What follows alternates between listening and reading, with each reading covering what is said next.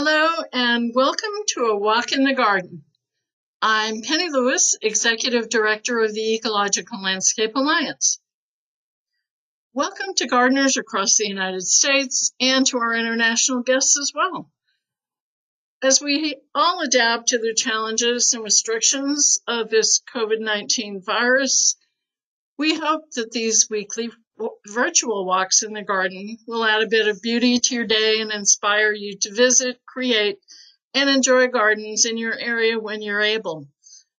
Today, I'd like to introduce Dan Jaffe Wilder, who will share his wit and wisdom as he presents Adventures with Oddities, Strange and Noteworthy Native Plants. Dan Jaffe Wilder is a photographer, author, and plant propagator. He's currently the propagator and staff photographer at Norcross Wildlife Sanctuary in Wales, Massachusetts. As you'll learn today, Dan is passionate about ecological horticulture and native plants with ornamental and wildlife value, in addition to those quirky, strange characteristics. Welcome, Dan. Thanks, Penny. Um, thanks for having me. It's it's nice to talk to everyone today. I, I wish I could see you in person, but I'm glad we've got you know what we've got these days. Um, so this should be a, a good deal of fun. Um, for those of you who've heard me lecture before, this is a little bit different from my normal style. Um, normally, I'm kind of really uh, uh, pushing the, the kind of educational component, um, you know, as heavily as possible. Today is is hopefully going to be very educational, but it's also really just meant to be fun. Um, there are some odd plants in the native flora, and I thought it was worth bringing them up. And when Penny approached me, uh, you know, during the current times, it seemed real fitting to to come up with something a little more playful than the usual way. Um, so, with that in mind, I'm going to kind of just get us moving here. Um, come on, there we go. Okay. So what we're looking at today are what I'm going to call nine strange themes, and I expect this is going to be somewhat cryptic. Um, hopefully it'll start to make sense as we go through it. Um, first off is, is what I like to call unexpected value. Um, plants that are doing something for us that we might not have realized that they were at first doing. Um, we're going to jump into cool history. There is some very, very interesting history associated with some of the, the species in our native flora, milkweed being one of many. Um, there are some also very interesting survival strategies. Um, one of the, the kind of amazing things about our native flora is we have this amazing diversity of kind of plants that are, are adapted to different conditions in different regions. And with that adaptability comes all these unique survival strategies. Something that is near and dear to my heart, um, we're going to jump into strange and wonderful flavors. I have a number of lectures that are, are dedicated entirely to this. Um, and there are some some very very tasty things out there that I think everyone really ought to get to know. Um, we can't do strange and wonderful natives without powerful poison. There are some very interesting poisons in our native flora. What's kind of amazing to me that I that I always find intriguing is that um, many of our edible plants are also some of our most poisonous plants, and it's often just about what part of the plant you're talking about. Um, you know, for example, you would not want to be eating tomato leaves. Um, the same way you would, you know, you wouldn't want to be eating the the roots of of that tomato. You wouldn't want to be eating the berries of the potato. You get the idea. It's really about the right part of the plant. We're going to jump to strange places. Um, this will probably make no sense to anybody at the moment, but I promise it'll make sense when we get to it. So I'm just going to kind of breeze on past that. Um, we'll get into odd sex. Um, the orchids specifically are very kind of devious in the way that they reproduce there are some amazing attractions within our native flora. This is in many cases what really got me into native plants is is the fact that it's not just about the plant itself, but about what it does in the ecosystem. Um, what else is attracted to it and feeds upon it and feeds off of it and so forth. And there's some amazing connections out there. Um, finally, we'll get into the necessary uses, um, odd uses of native plants that aren't necessarily what you might first think. Um, this is probably all seeming somewhat cryptic, and I'm expecting that a lot of it will start to make sense as we jump into it. Um, so let's kind of just get running here. Um, this is Aronia. This one specifically is Aronia arbutifolia, the red chokeberry. Um, we've also got, where are you? There's some more arbutifolias. Here it is. This is Aronia melanocarpa, the black chokeberry. Um, if you haven't already noticed, they are named for the colors of their berries. These are fantastic shrubs that I think really are, are underutilized within our um, kind of horticultural industry. They are um, they're they're plants that will happily grow in standing wet conditions. I often see them growing in bogs or drainage ditches. Um, that being said, they're also perfectly fine growing in dry soils. Um, once they're established, they're able to do just about anything. They bloom in the spring, they produce these great berries in the summertime, and then they give you this wonderful fall foliage, um, you know, the bright red colors that you're seeing here. Um, it's something that I, I, think really more people ought to be using. Uh, what's so unexpected about them, though, is we hear a lot these days about the value of antioxidants in our diet. Um, I often hear low bush blueberry touted as kind of the antioxidant king. Um, black chokeberry specifically has seven times more antioxidants in the berries than that of low bush blueberry.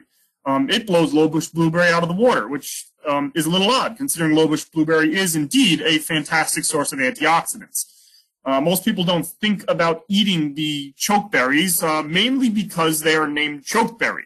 It's a, an unfortunate name for a plant that is actually perfectly edible. Um, the reason it's called chokeberry is that the berries are, are not just sweet, but they also have a distinct bitterness to them. Um, I've heard some people claim it's the high levels of antioxidants that cause them to taste so bitter. I'm not sure if that's true or not, but you know, it's a good story nonetheless. Um, most people who eat these usually end up juicing them, um, mixing them with other things. In fact, if you look at some of the ocean spray juice mixes, you'll see a lot of chokeberry kind of listed in their ingredients, but they, they're better marketers than whoever came up with the name chokeberry, and they like to call this aronia berry. So aronia berry is a superfood, and chokeberry is just chokeberry. Um, these are wonderful plants, though. Whether it be aesthetic or edible, this is a plant that everyone ought to get to know. So the next on our list, pines. Um, the pine trees are, are overlooked, um, and I think part of the reason is they're just they're just so darn common. Um, you know, you you you couldn't really go 20 feet in New England without hitting a pine tree. Um, likely an eastern white pine if you're in the coastal region, maybe a pitch pine. Um, these are by no means rare plants, um, though there are some less common species. This guy here, this is pitch pine. I'm a big fan of this one. If you live in the coastal regions, you probably get to know this pretty well. Um, you can find it inland as well, um, though it's it's much more common in coastal regions where you see these kind of sandy, um, dry habitats that are often associated with the coastal sand plains. Um, where you find this inland is often coastal, uh, sorry, not coastal, um, glacial sort of outwashes, um, high dry ridge tops, glacial moraines, areas with good drainage. that being said, you will also sometimes find this as a bog species. It's kind of odd that it can kind of show up in either direction. The unexpected value on these guys is again an edible value. Um, these guys have, I think, if I remember my numbers right, it's eight times more vitamin C within the pine needles than you'll find in an orange rind. Um, this is a vitamin C kind of pack house. And the funny part is you'll actually find even more vitamin C within the bark of the plant than you do in the needles. Um, that being said, I usually tend to find myself making tea out of the needles. It's surprising how tasty this is. Um, and if you haven't tried it before and you haven't really delved into kind of wild edibles, this is a, a fine place to start because it's, you know, who can't find themselves a pine tree? Um, grab some of the, the young needles. You don't want to grab the old stuff now. Wait till they've sprouted and you've got some fresh stuff. Throw them into some hot water, let it steep for a couple of minutes, and you'll find it has a nice, light, piney sort of flavor and is really full of vitamin C. Um, if if this was something that you know the kind of sailors knew of the earlier era, scurvy would have been much less of a problem because it's quite easy to store this stuff, and the vitamin C, though it does decline in storage, is there enough where you could easily use it in the long term. Um, getting off eating things for a bit, this is cinnamon fern. Um, so a lot of people don't tend to think of ferns, and I'll throw the grasses and the graminoids into this um, mix for the moment as um, really important, say, pollinator plants or, or wildlife value plants we tend to think, you know, when, when someone hears the word pollinator plant, you think of something like uh, milkweed and the monarch butterfly. Or maybe you think about that chokeberry and you think about the birds coming down and eating the berries. Um, what we often miss are the leaves as an important source of kind of habitat for wildlife. Um, think about a lot of the, the native caterpillars that eat the, the native leaves. Um, this is why something like an oak tree is on the top of um, Doug Tallamy's list. Cinnamon fern takes it even to another direction. It's not even the leaves that we're looking at. Um, it's the hairs themselves. Um, if you see on the left here, you see those um, the the young stems with those kind of young hairs coming out on them. Um, hummingbirds will often collect those and other birds as well and use them to line their nests. Um, it's wonderful cushioning for their delicate eggs, for the chicks. Um, this is one of those kind of indirect connections that we've started to realize are, are all throughout the flora. Um, it's, it's quite amazing how many different interactions exist beyond even just the, the regular ones, you know, beyond the, the flowers and the berries and even beyond the leaves and into things like hairs and bark and root pieces. This is a wonderful species, um, one that I really think people should be using more often. It's named cinnamon fern for um, this this fertile structure that you can see on the right here. Um, you know, the color of cinnamon, hence cinnamon fern. The species that you'll often find planted or, or you know growing in wet conditions. It does very well in those areas. It'll grow in, in kind of average garden soils, but it doesn't want to be in any sort of a dry spot. I've always admired the ferns in the early season. Um, this, excuse me, this structure as they emerge, these kind of fiddleheads that you'll find on this and a variety of other species, have this wonderful architecture that I've, I've always really dug and makes me really enjoy them in the kind of early spring gardens. And then later on in the season, you get this lush foliage that just pairs well with broader leaves and various other things. We'll, uh, I'll throw at least one, maybe two more ferns into this lecture that we'll get to as we keep going.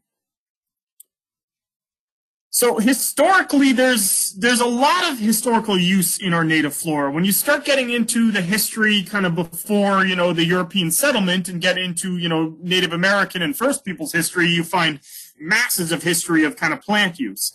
Um, but it didn't end when, you know, the, the European settlement happened. You'll still find history kind of kicking in into that, you know, less historical phase.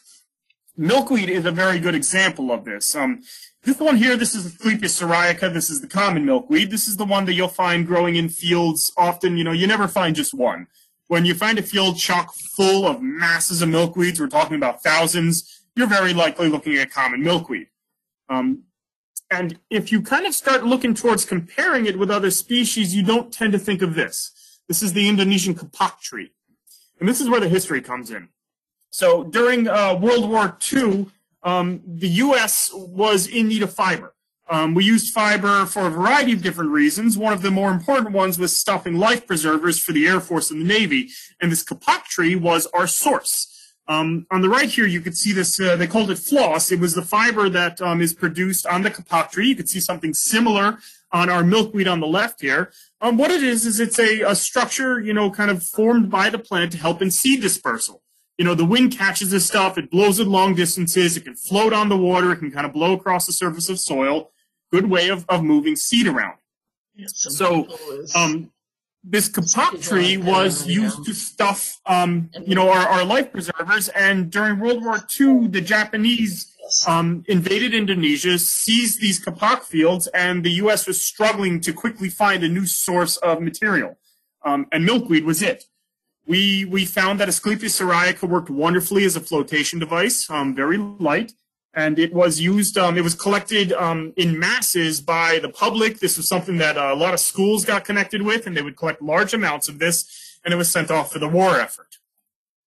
In terms of growing these species, there's a variety of different plants that I recommend growing. Um, the first one we were talking about, let's go back to a quick second, common milkweed. Um, this is the one that I often recommend when people have tough areas. Um, this is a vigorous spreading species. It's not a good plant for small spaces unless you have, you know, weeds or invasives that you want to push back against. Um, that being said, it's fantastic for areas where you want that sort of vigor. What I really think we should be doing more with things like common milkweed is planting this on roadsides. I would love to see every highway and, and road in New England kind of, you know, covered in common milkweed and, and various other kind of strong spreading species. In terms of garden settings, um, I often find myself leaning in the direction of one of these two species. Rose milkweed, um, Asclepias incarnata. This is the one that's often, often sometimes called um, the, the swamp milkweed. You'll find this one often growing in wet areas um, alongside other species like the Joe Pye weeds um, or, or desmodiums or cattails. This is a species that can handle these standing wet conditions, but is also perfectly fine growing in average garden soils, um, which means that it's quite adaptable. It's got a flower that at first glance is quite similar to the common milkweed, but unlike common milkweed, this is a clumping species. It tends to kind of sit in place. You know, each plant gets a bit bigger, but it's not going to run throughout the garden. On the other end of the moisture spectrum, you get this, the species on your left here, Asclepias tuberosa. And if we go into those average garden settings, both of these will grow just fine. Um, and where rose milkweed can handle the standing wet, um, the butterfly milkweed can handle the other end of the spectrum into those very, very dry sites. Um, so when we're talking about, say, pitch pines in the coastal sandplain region growing in what amounts to pretty much pure sand, you'll find species like butterfly milkweed growing underneath it.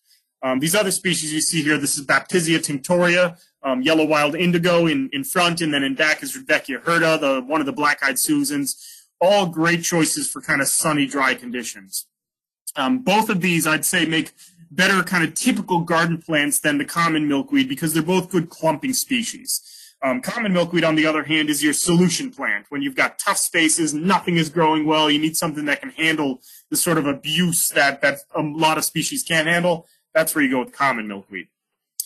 Another species that I think is worth at least mentioning, this is purple milkweed, um, Asclepias purpurascens. Um, this is a rare species in New England. You don't find it around very much. Um, there's a little bit of it in the trade, and there's some folks growing it. Um, it'll grow in conditions that are, are similar to the guy on the left here, Asclepias tuberosa, tends to like sunny, dry conditions. Um, if you happen to know a site where this one's growing, it's one to marvel at, but you know, please don't go digging at it. As I said, this is a rare species, um, but a beautiful one nonetheless, and one that I, I, wish more people could get to know. Okay, um, moving along in our historical kind of uh, view of, of the native flora, this is sweet birch. Um, and sweet birch is a name that kind of matches a couple different species. You'll see up on the top here, I've listed both Betula alleghaniensis and Betula lenta. Um, if you want to get into kind of, I think, more consistent common names, that would be yellow birch and black birch, or sometimes called cherry birch. Um, both of them fit under the name sweet birch because of their flavor. Um, and if you're ever unsure of, of the identification on one of these trees, this is where I recommend the scratch and sniff test. Um, these these sweet birches, especially when they're young, before the bark becomes more evident, can easily be mistaken for our native cherries, um, even for the invasive buckthorn. And if you're not sure what you're looking at, just go up to one of the branches, um, scratch it with your thumb a little bit, and put your nose to it.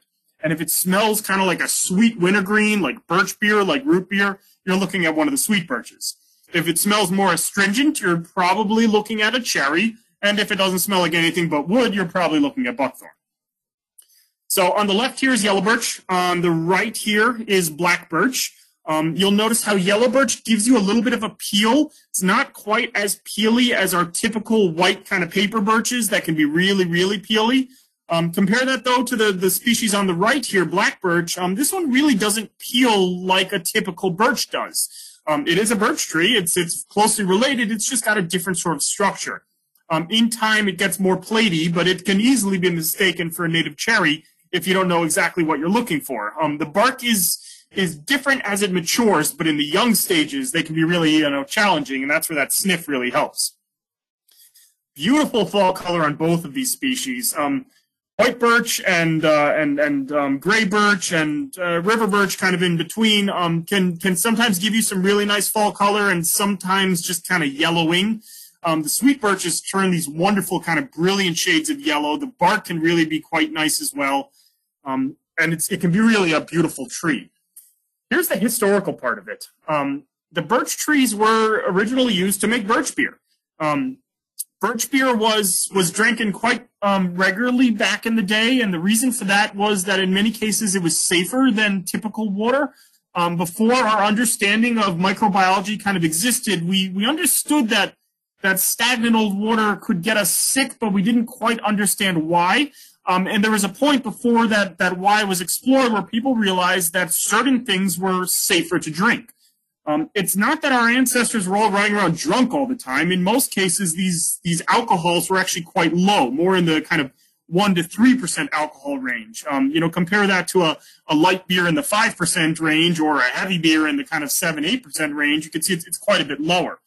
The great difference here was that this birch beer, or typical ales or any other beers at the time, were sterilized. Um, first, they were boiled in order to make the beer itself, and then the alcohol that settled in there, that, that ethanol, is actually a good sterilizer.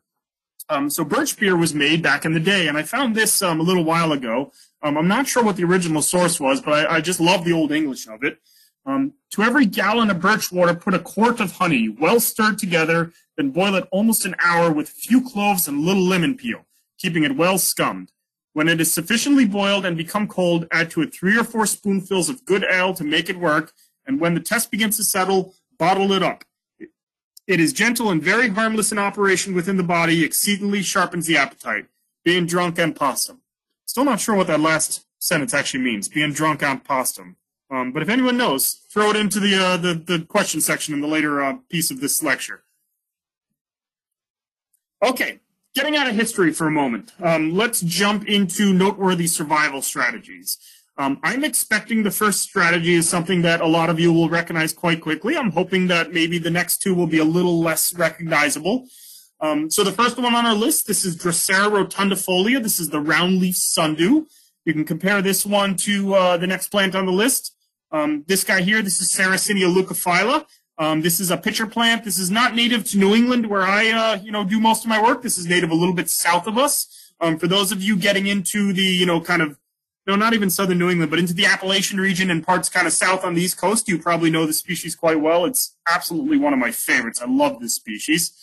Um, I don't actually know what species this is. This is a hybrid that appeared at Garden in the Woods back when I was working there. It was um, collected seed, grew it out. God knows what the parentage is. Um, and here is the New England native. This is Sarracenia purpurea. In my region of Massachusetts, if you're looking at a pitcher plant, this is the one you're seeing. There's there's no other native ones here, although we plant others anyway. Um, the connection that I think a lot of you have probably already picked up on between these pitcher plants and the sundew is that they're insectivorous, um, carnivorous, specifically towards insects, although I hear that they'll uh, digest the occasional frog too. So what these plants are doing is they've adapted to grow in areas where nutrients are strictly limited. Um, it's mostly nitrogen that we put up to this, and in many cases, the limiting factor is is not actually the availability of nitrogen, or at least not in the strict sense, but in the ability of the plants to pick up that nitrogen. Um, and what I mean by this is a lot of these are growing in bog regions, um, areas with very, very low pH, um, very acidic soils. And what happens when you get into these sort of acidic soils is nitrogen gets bound up in the soil and the plants are unable to access it. Um, so it's not that nitrogen isn't there, although in some cases that's also part of the problem. It's that the plants can't actually get their hands on it. Hands. Well, you get the idea. The roots on it. Um, so what these plants have done was developed a way to acquire nitrogen without, you know, pulling it through their roots. And that's where this insectivorous strategy comes in. Um, insects have a lot of nitrogen in them. And these plants have developed ways to trap insects, digest them, and then extract the nitrogen out of them in order to grow better. So let's let's go back a few. So looking at this Drosera, um, what you're looking at here are a number of little kind of sticky tendrils. And they look like droplets of water. Um, and especially on a dry day, if an insect is looking for a drink, they could very well look at these droplets and say, oh, there's a good source of water. I can drink that. It's not a huge pool. And they'll go to a drink on it and then they get stuck. Um, and once they get stuck, this plant will slowly, not all that slowly, um, slowly by our point of view, quite quickly by the, uh, the plant's point of view, will, will curl around that insect and will then digest it and, and acquire its nitrogen. Pitcher plants do something similar, but in a different sort of way. If you look at this picture on the right here, um, you will see these downward pointing hairs within the pitcher itself. And um, what you can imagine, if you put yourself into the body of, say, a fly, you know, a very small insect, you can climb down these downward pointed hairs quite easily. You know, they're all pointed in the direction you're moving. Um, imagine trying to climb back up them and you're kind of trying to climb into all these pointy spikes. Makes it much more challenging. Um, so the insects will be attracted to this pitcher plant by a variety of different compounds that are, are sitting around in there that smell good to them. Um, they'll climb down in there, realize that there's no, you know, kind of rotting meat or food for them to eat. They try climbing back out and they can't get out. Um, these downward pointing hairs make it almost impossible for them, and eventually they get exhausted and they fall into the water below. Um, and within that water is a variety of compounds that will then go ahead and digest that insect and again extract the nitrogen. The added interesting part of this, if you look on the left here, um, this kind of middle picture, what you're seeing there is a pitcher plant in early spring. Um, this is probably, I'd say, maybe in my neck of the woods, I'd say probably about three weeks away from where we currently are. Um, in another month's time or so, they should look about like this. And if you look closely, you'll notice that all those pitchers, um, both the ones that are, are brightly, you know, kind of are red on the bottom and the big tall green ones in back are closed. None of those are actually open. Um, none of them are yet carnivorous. Um, look at the ones that are open towards the bottom, and you can see those are actually last year's pictures. And the reason for this is that this plant not only eats insects, but it needs insects to be the pollinator. Um, you know, going back to our flower here, you need a pollinating insect to come and visit that flower in order to pick up the pollen and move it from one plant to the next. Um, and so the insect does not want to eat its pollinators, or it kind of does want to eat its pollinators, but not until they've done their job. So in the early season, it produces these flattened, non-carnivorous leaves. Um, it does that. It produces flowers. The flowers bloom. The pollinator has done its job, and then all these um, pitchers start to open up and will then start eating all the pollinators and other insects as well. It's a devious strategy. Okay, a different sort of strategy, um, non-insectivorous. Um, see if you can't figure out what connects the next couple of plants. We've got Dicentra cucullaria here. This is Dutchman's breeches. This is uh, one of our native um, bleeding hearts. We've also got Carolina Spring Beauty, Claytonia caroliniana, um, a little less common than Claytonia virginica, which is another um, spring beauty that is usually just called spring beauty.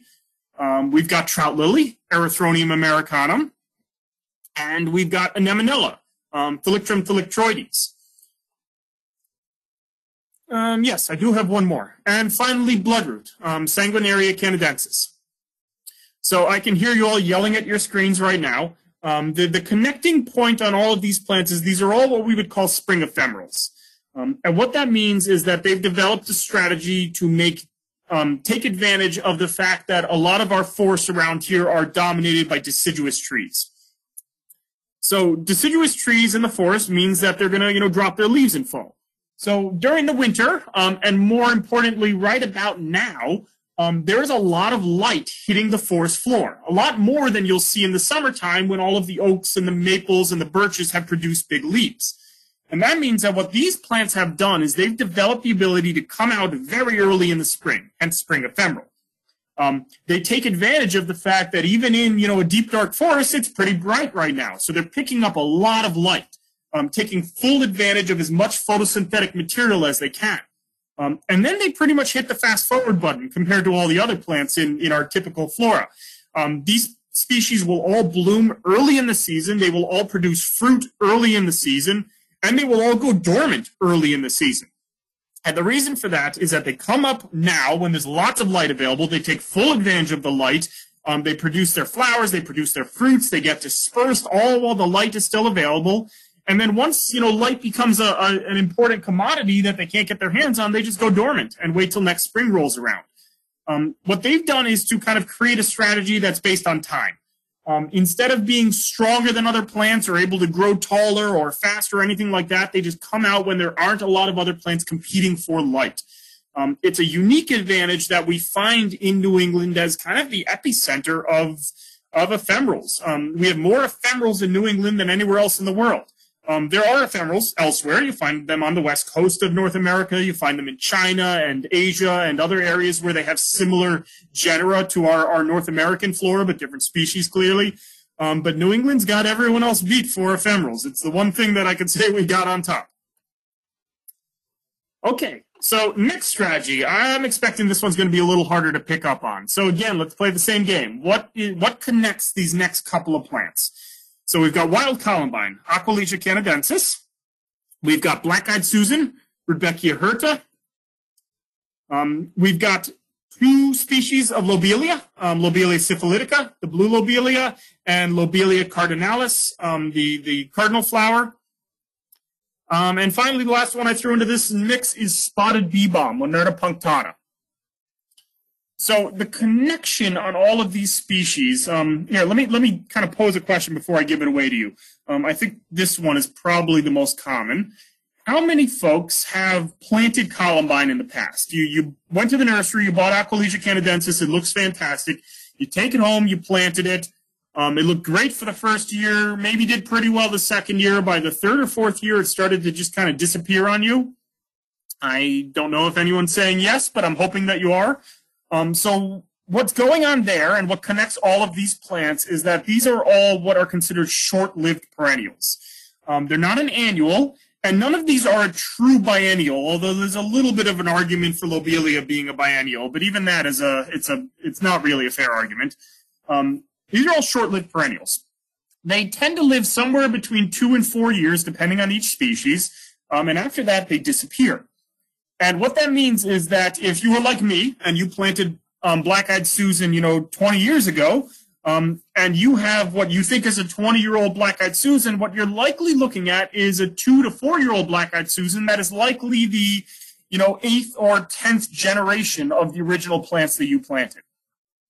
So what it means is when you've got a short lived perennial species, but you've got, you know, something that is not going to just, these are plants that will last for many, many years on the landscape. These will outlive all of us. Um, and the way that they do that is they're very good at, at producing seed, distributing that seed, and that seed is very good at germinating in place and growing on to produce a mature plant. Um, it's kind of the way you'll find our native annuals are, are able to persist on the landscape. For those of you who know partridge pea, um, it's a plant that you can plant once and see for many, many years, despite the fact that you know it's an annual species. Um, these are quite similar in that way. And it gives them certain advantages over another perennial species. Um, compare this to something like lupin or um, you know a, a, blue stem or baptisia. Um, the advantage that these have is that they're fast. Um, they can grow very quickly. They often, almost always, bloom the very first season, something that none of our short-lived, or sorry, long-lived perennials will do. Um, and they can persist in areas where there's a lot of disturbance. What that means is that they're very good at handling things like roadside conditions they're good at handling nature's version of a roadside, which might be a scoured riverbank, um, or areas where you get trampling from, you know, wildlife. Um, areas where the crown of the plant is crushed and dies, but the seed bank can persist and then resprout. Um, it also makes them very useful for what I describe as young gardens.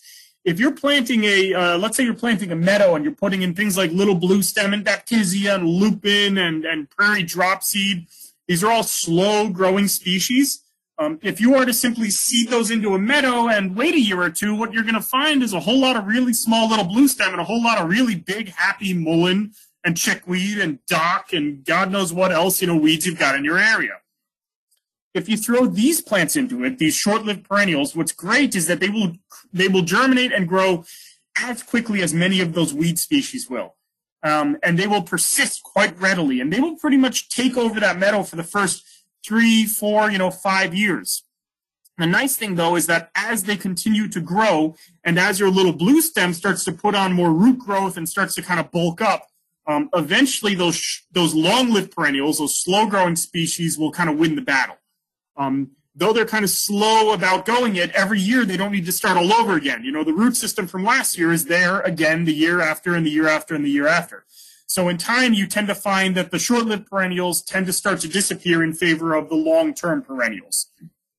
It means that you can have a mix of both.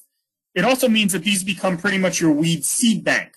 Um, so when I used to work at Garden in the Woods, we had our meadow full of a lot of, you know, long-lived perennial species like the baptisias and the prairie drop seeds but on the corner of the meadow and on the edges, they would often get trampled. Um, you know, no matter what you do in a botanical garden, people are going to be, you know, kind of walking off the trails. Even when they don't mean to, they'll occasionally step in the garden. Um, and so there's a lot of damage right on the kind of trail edges. And that's where these species persisted. Because every time somebody stepped on and crushed a lupin, there'd be a little bit of columbine seed waiting to resprout and to come to life. And this is something that anyone can do at home. Um, you start planting these in your garden and they become your weeds. Um, in which case, instead of having to weed out every dock you see, you just decide, hey, do I want that lupin there or do I want the cardinal flower there? And you can kind of edit. Okay, um, I think the last of my survival strategies, this is skunk cabbage. I think a lot of people are, are to some extent familiar with this plant's um, survival strategy, though maybe you don't quite understand exactly what's going on. Um, this is the first plant to bloom every spring in New England. They have been blooming for a while now. In, in many cases, they're already passing their flower and are, are starting the initial stages of producing a fruit, which will be a while before that matures. Um, they have amazing flowers. This, this structure is just um, beautiful in its own way. This is the survival strategy I'm talking about. I'm sure a lot of you have seen this before. If you catch it in early spring, you'll see these plants coming out of the snow. And it's almost like somebody came in there with a hair dryer and kind of blew it right around this plant. There'll be this little kind of moat of, of lack of snow right around the plant itself. What these plants are able to do is to actually metabolically produce heat. Um, it's not a lot of heat, um, but it's enough where the inside of that flower is distinctly warmer than the outside ambient temperatures. And the reason the plant does this is it's providing a really nice home for insects, um, specifically flies, a really good place to spend the night. And so flies know this. They take good advantage of this. So they will fly over to this thing, especially in the later part of the day, um, they might be going in there to, you know, to collect pollen and to eat and because they're attracted to the flower itself.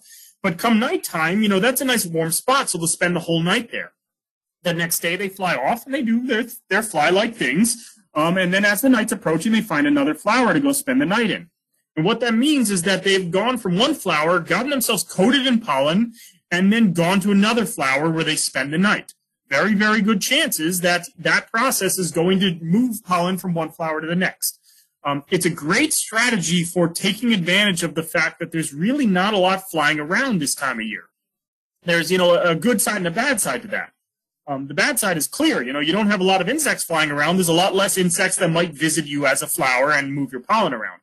Um, but the advantage is that those insects that are flying around don't have a lot of other plants to go visit. So if they visit one skunk cabbage, there's a pretty good chance they're going to go visit another one. Um, you know, imagine if you uh, visited a, as a flower, you know, as a pollinator, you visited skunk cabbage and then went and visited a maple tree.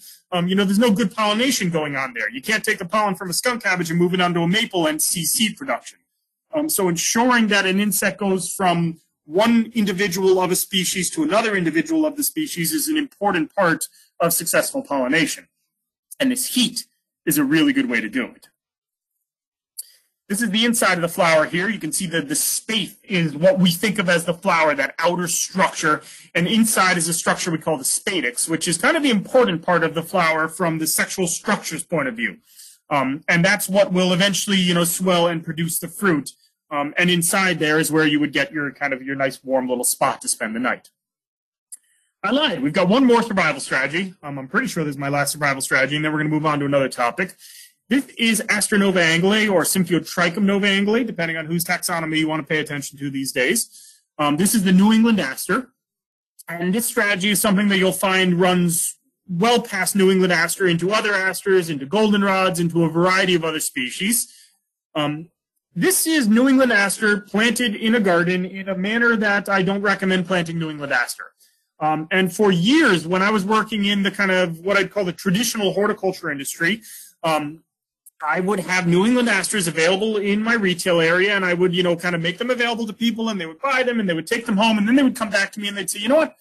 I really don't like the way the New England asters leaves all die out on the bottom. It looks terrible. You know, I just don't understand why it keeps doing that. Maybe I'm not watering it enough, or I'm watering it too much, or so forth. And people would always, you know, think that they were doing something wrong in the fact that the leaves would often die out on the bottom of this plant. Um, and you would get a plant that looks good on top and not so good on the bottom, and that really didn't work in, in a lot of garden settings. Okay, now imagine you are a New England aster, or in this case, a fleabane, and this is natural conditions. This is where it grows. So, um, think about this. What is the value of leaves on the bottom of these plants? Um, this is not New England aster. This is Erigeron pulchellus. This is a Robin's plantain fleabane. It's closely related. It's another aster family plant. Um, and you can imagine having leaves produced on the bottom, you know, that it's a lot of work to produce a leaf. It takes a lot of energy. Um, and then to maintain that leaf. And in this case, you know, what would the leaves be doing? Leaves are solar collectors. They're solar panels. They're there to photosynthesize. And when you're in a meadow condition like this, having leaves in the top, you know, two inches or the bottom two inches of your plant is useless. It's just wasted energy. So this plant and a variety of other meadow species have developed a strategy where as they mature and as they get taller, those lower leaves just kind of disappear. They're not needed anymore. And this means that if you're planting these plants in the sort of garden settings where you plant them and surround them in 18 inches of mulch, all you're going to do is see dead leaves, um, which is why I recommend companion planting.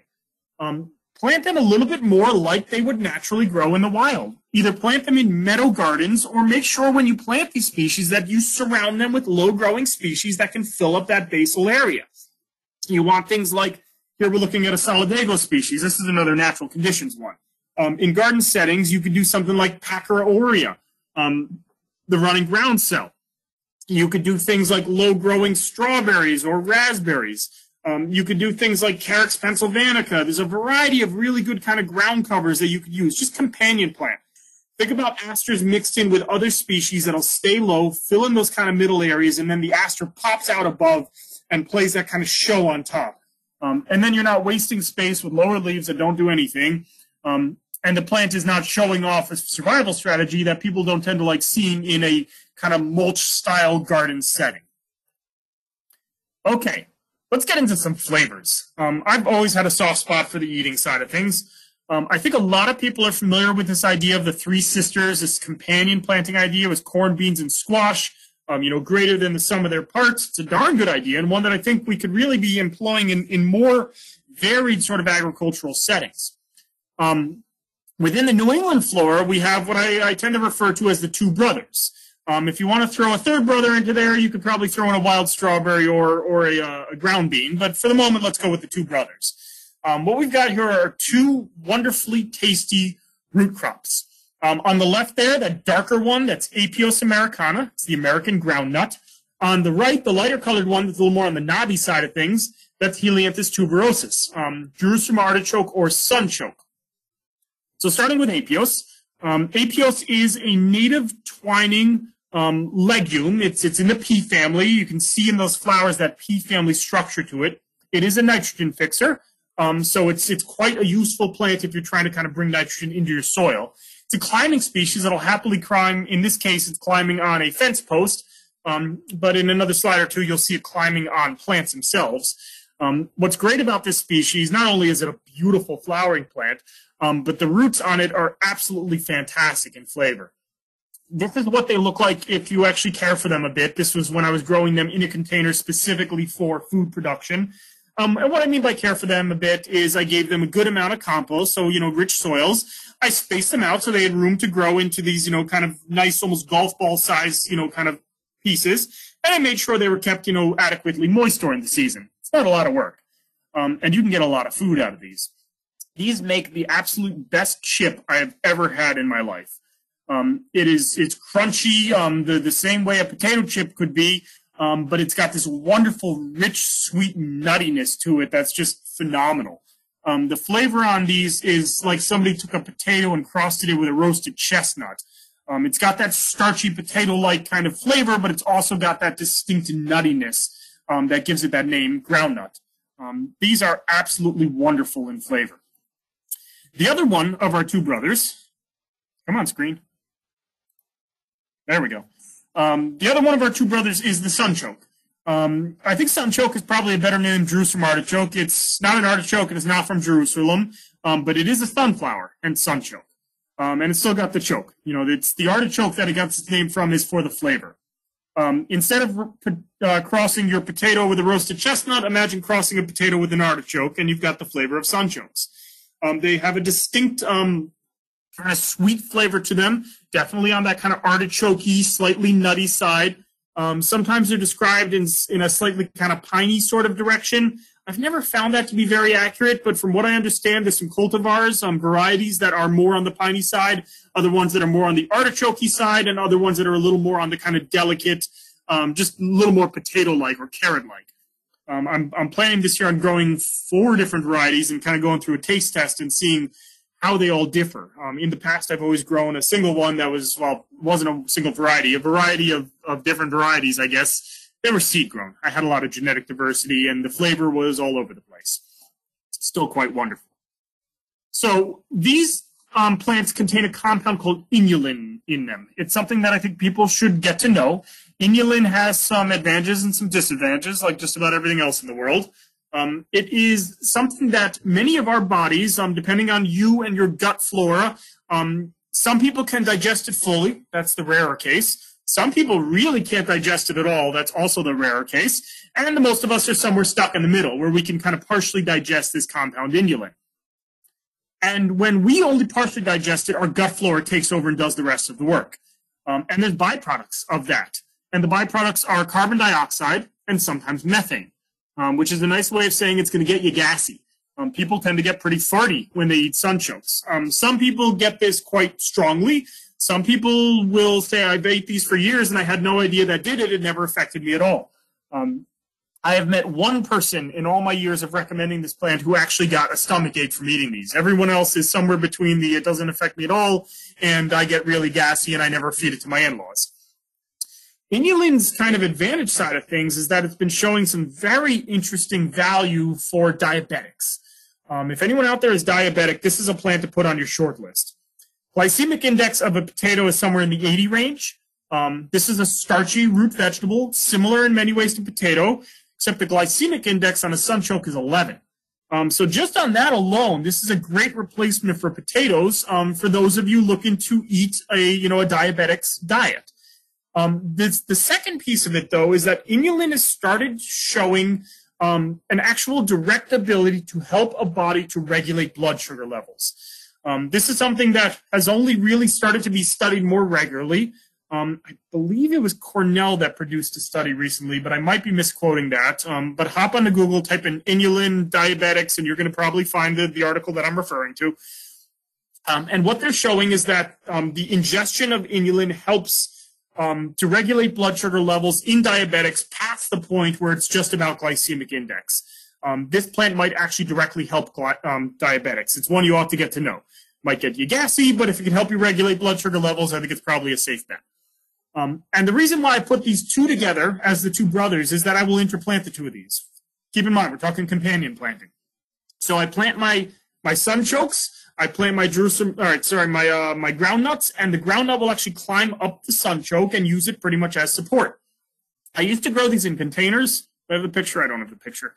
Um, you can kind of see a container in the back of the right there. Um, I would grow this in a nice big container, and the nice thing is, come fall, um, when these plants had started to yellow and the foliage was dying back, we're talking usually October-ish, um, I would go up to that container, I would cut all the foliage off, I would throw it in my compost pile, and I would dump that whole container out, and I'd go rooting through it, looking for nice big tubers, um, stuff that looked kind of like these guys here. And all the big ones would get packed in some sand and thrown in the root cellar, and I'd be eating them all winter long. Um, and all the little ones that were too much trouble to deal with would go right back into that pot with some fresh compost and some soil, and I would do it again next year. Um, and I would constantly, you know, once you plant these once, you never need to plant them again. Um, in fact, putting these in the ground is something you want to kind of decide whether or not it's the right place to do that. Um, this is something that I've grown in raised beds. I've grown this in just kind of garden settings, um, but especially the sunchoke, the guy on the right there, um, can be very vigorous and hard to remove once established. So don't put it in a small space or any area where you want to kind of interplant it with other species that aren't, you know, close to as vigorous. Um, is, is often just as vigorous, but a bit better behaved. I've, I've found I can interplant that in garden settings a little more readily um, than I can sunchoke. Still quite a vigorous plant and, you know, twining species that'll climb on whatever it's in front of. Um, but I'd still say, you know, less vigorous than the sunchoke. Okay, um, let's get out of eating and into drinking. Um, we have a variety of wonderful teas in New England. Just want to check my time. Oh, running a little behind. Going to keep moving here. Um, so spice bush, um, this is big on the list. I've, I've, I'm a huge fan of this species. It is not blooming yet, but I'm seeing um, bud swell on a lot of the species here in Massachusetts. Flowers in the early season before the leaves come out and has a distinctly spicy sort of scent and smell and flavor to it. Um, really quite nice as a cup of tea. Sassafras, another wonderful tea plant. Um, if you're harvesting roots, you're likely looking for the medicinal safrole, but if you're just harvesting the twigs, uh, medicinal value on this one is, is quite limited, but the flavor on it is really quite fantastic. Um, you can also collect those leaves and, and dry them and crumble them up and use them as a thickener in soups and stews. We already mentioned yellow birch, um, or black birch, in that case, sweet birches. Uh, makes a wonderful tea, makes an even better hot toddy. Monarda didyma, this is the one that is usually just referred to as bee balm, sometimes scarlet bee balm. Um, this is probably the most common bee balm in the horticultural industry, though less common um, seen naturally occurring in New England. In fact, uh, you got to really be in the right place to see this growing, you know, naturally in New England. You usually see Monarda fistulosa, um, wild bergamot. These are all absolutely wonderful tea plants. Um, each of them valuable in its own different sort of way. A lot of the woody species, I recommend collecting small twigs and simmering them in some kind of hot water for, you know, three to five minutes until the flavor develops. Um, these herbaceous ones like Monarda didyma or some that aren't mentioned here, things like pycnanthemums or the other bee balms or agastaches. Um, you can either use fresh leaves, you could use flowers, or you could dry it down for later use, which is quite nice. All right. Um, so sandwiched between the edible section of this um, lecture and the poison section of the lecture is the powerful poison with a question mark. Um, I've always gotten a kick out of this plant from the kind of poison point of view. If, if you're on, you know, social media or if you're talking to people, you often hear it referred to that this is extremely poisonous. Keep your children away. It's out to get you. Um, better be careful around the yew. It's a very, very poisonous plant. Um, it's a partially true statement at most. Um, the the berries themselves, which are not actually berries, but we can call them berries, are not actually poisonous. It's the seed inside that is. In fact, the berry here, this fleshy aril that we're calling a berry, is actually quite edible and quite tasty. Um, a little gelatinous in texture, quite sweet, um, really quite nice. The seed on the inside, however, contains a compound called taxol, which is highly poisonous. Um, in small doses, it's actually been shown to have some really interesting anti-cancer um, qualities to it, and there's some testing going on for its uses medicinally. But this is not something you want to just go eating. Um, this is a, a, highly toxic compound um, that is is present within this seed.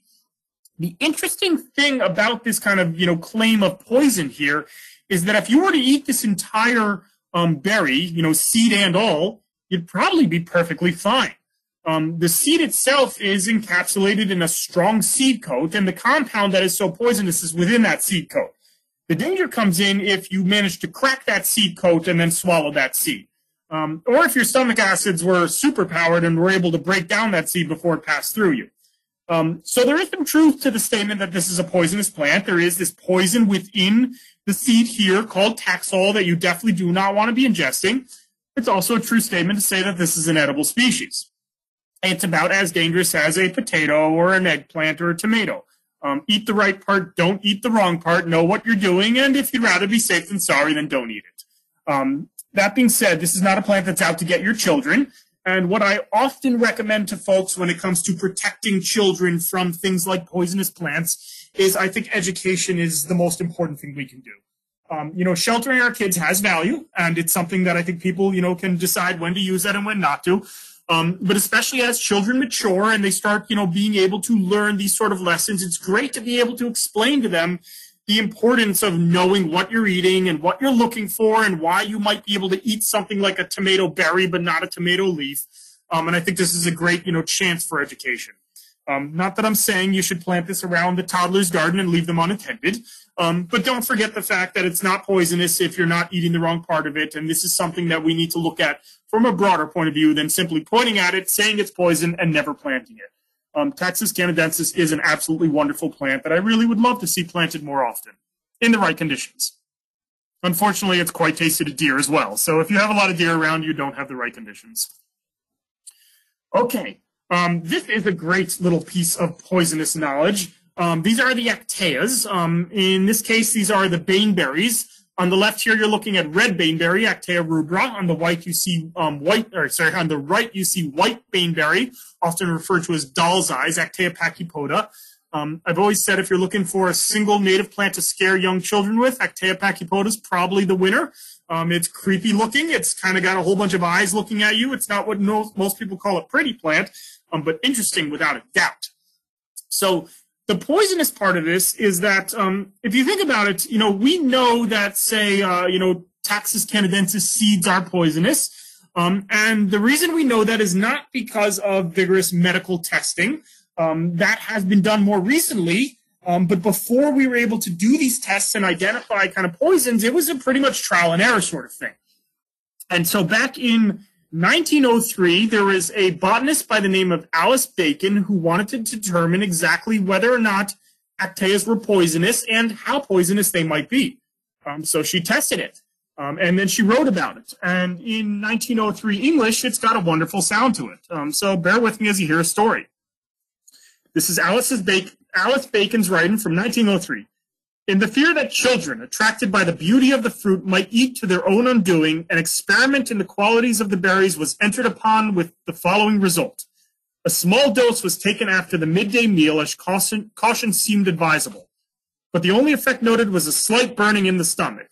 The question, however, of children eating the forbidden fruit was definitely settled once and for all, as no child, youth, sane adult, nor even a hungry schoolboy would ever devour it from deliberate choice. The taste is most nauseous, bitter, puckery. Indeed, several even more drastic adjectives might have been applied with perfect truth. A little note here. It says after a small series of on increased doses, Miss Bacon settled on six berries before recording the following. Half an hour afterward, all curiosity on the subject of red baneberry was abundantly satisfied, for this one experimenter at least. Suddenly the mind became confused, and there was a total disability to recollect anything distinctly or arrange ideas with any consistency. Words seemed to utter themselves independently.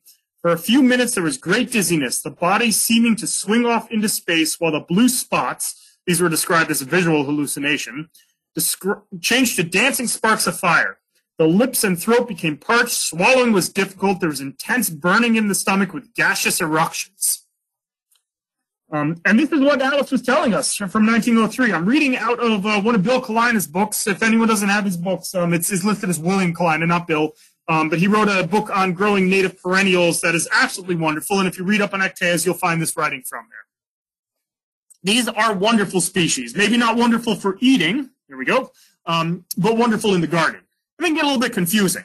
Um, so on the left here is still red baneberry. On the right here is still white baneberry or doll's eyes. But what you're looking at here is the white form of red baneberry and the red form of the doll's eyes.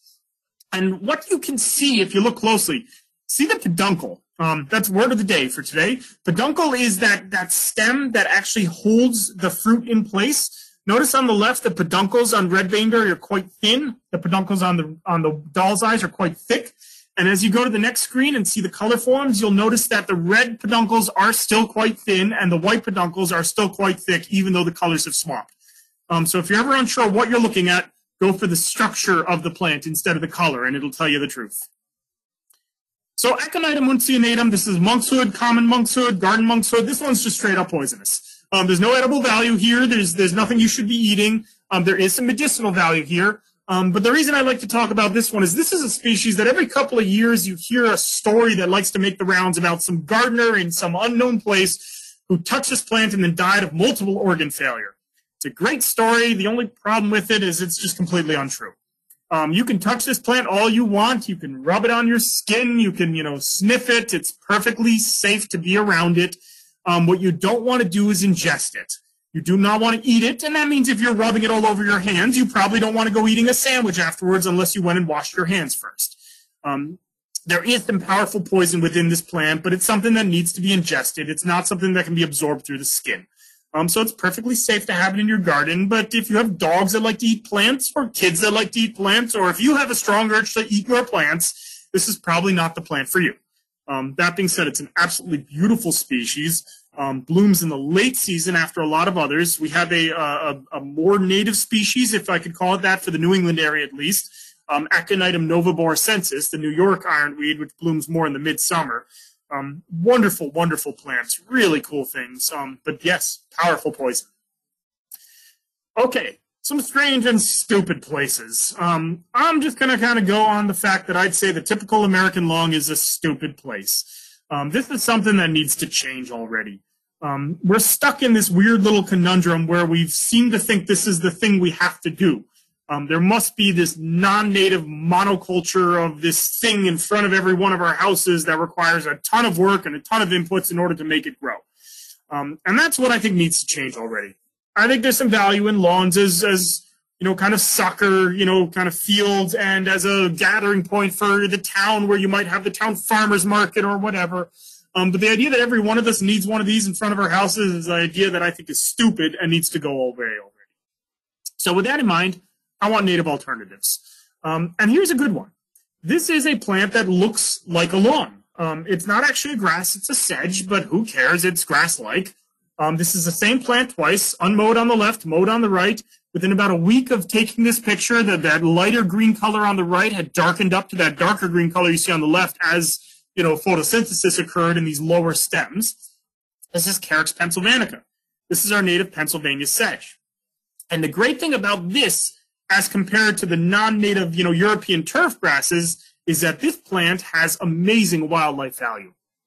There are 36 different species of our native butterflies and moths that will feed on this plant in their caterpillar phase. Um, this is a plant that naturally grows under pine trees in New England. And what that means is it can handle thin soils, it can handle shade, um, and it's a rhizomatic spreader, which means if you dig a hole in the middle of it, it fills right back in. You don't have to reseed or do anything like that. Um, this is an effective lawn alternative for a number of places in New England if you want it to still look like a lawn. Won't handle the same sort of abuse that a European turf grass lawn will. Um, this is not going to play, you know, a, a, replacement on a soccer field or on the town green. Um, that being said, if your lawn is really just about aesthetics and you're really not playing soccer on it, this is a fine choice for you. This is it left completely unmowed. This is as tall as it'll ever get. Um, if you do want to mow it, you only need to mow it once a year. Um, it puts on all of its growth in early spring. So if you mow it in kind of early summer, it's done growing for the season and you don't need to mow again. As far as I'm concerned, this is my absolute favorite lawn. This is, I think, the lawn of the future in New England. This is Fragaria virginiana, the wild strawberry. Um, this is a vigorous spreading species. Um, what that means is it's not one that plays well with other delicate species, but it also, on the flip side of that, means it can handle abuse. Um, this is what I'm doing at my home for the lawn. Um, and this is digging up to two dogs, one that likes to dig holes, um, free range chickens, and the fact that we are trampling our lawn every day as we move on it to get into our garden beds. Um, this plant can handle abuse. It also feeds us quite wonderfully um, and feeds wildlife even more effectively. Notice if you look closely in the second picture how ratty those leaves look. Um, you don't see it when you step back and look at the, you know, that kind of picture on the left. Um, but on the right, you can see that those leaves have been fed upon. Um, if the Carex was host site for 36 different species, Fragaria is host site for 87. Um, there's not a single herbaceous genus that is more valuable than Fragaria um, in New England other than goldenrods. They're, they're top of the list. Fragaria's number two on the list. Nothing else beats out these two species. Um, wildlife value on this one is phenomenal. Um, and that's just the leaves. Don't forget the flowers are still good bee food, and the berries obviously are good for us or for any wildlife that gets to it before we do. Okay, let's do some strange sex here. Um, this is Jack in the Pulpit. This is a wonderful plant and just phenomenally interesting in the fact that it's an odd plant from a sexual point of view. Um, what we're looking at here is the flowers. This is what most people think of when they hear of Jack in the Pulpit. What they don't tend to pay enough attention to is the fruits. Um, we've got a beautiful fruiting season on the Jack in the Pulpit. It's not just a spring plant. It looks great in fall. Um, the sex stuff comes in in how we go from flower to fruit. If you slice open the flower, you're going to look at one of these two things. And what you're seeing on the right here is male flowers, and on the left are female flowers. Um, thank you, Carol Gracie, by the way, for putting this together. Um, and what happens is in most plant cases, you find a plant that's either male or female, or you find plants where the flowers are what is called perfect and they have both male and female structures. Um, and for the most part, when plants are male or female, they kind of stick around with that. You either have a female winterberry or you have a male winterberry. Jack in the pulpit doesn't really do that. They're much more fluid. Um, they start their life off as a male every time. Um, and the reason for that is in the plant world, the men have it easier. Um, think about what a male has to do as compared to a female. Um, the males produce pollen. Pollen is small. It doesn't take a lot of energy to produce it. Um, and it's something that any young plant is capable of doing. Think about being a female. you've got to produce um, female flowers, these ovaries on the left here, that eventually turn into this fruit. Um, and this fruit is a large investment of energy. Um, it takes a lot to be able to produce these berries, a lot more energy than is taken to produce a little bit of pollen. So the way that these plants work is they start off as male. Um, they produce male flowers, small investment of energy, and as they're doing that, they're, they're they're photosynthesizing, they're storing energy in their roots, and they're doing this for a good couple of years until they've built up enough energy to produce fruit. At that point, they will switch sexes, and they will no longer be male. They will produce female flowers, and if they are then pollinated, they will produce the fruit that requires so much energy. And immediately after producing fruit, they'll switch back to being male and take the easy job again. And this is why oftentimes people will realize that their, their jack in the pulpit is getting bigger and bigger and bigger, and then it produces a beautiful fruit display. And then they'll wonder why it's doing so poorly the next year.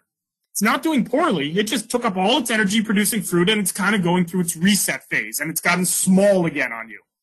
Um, a way to kind of cheat and tell whether you've got one or the other without actually opening up the flowers to count your leaves. On the left here is a male plant. On the right is a female.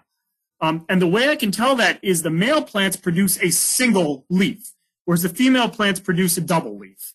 Um, this is not 100% accurate, but I found it to be somewhere in the 90% range.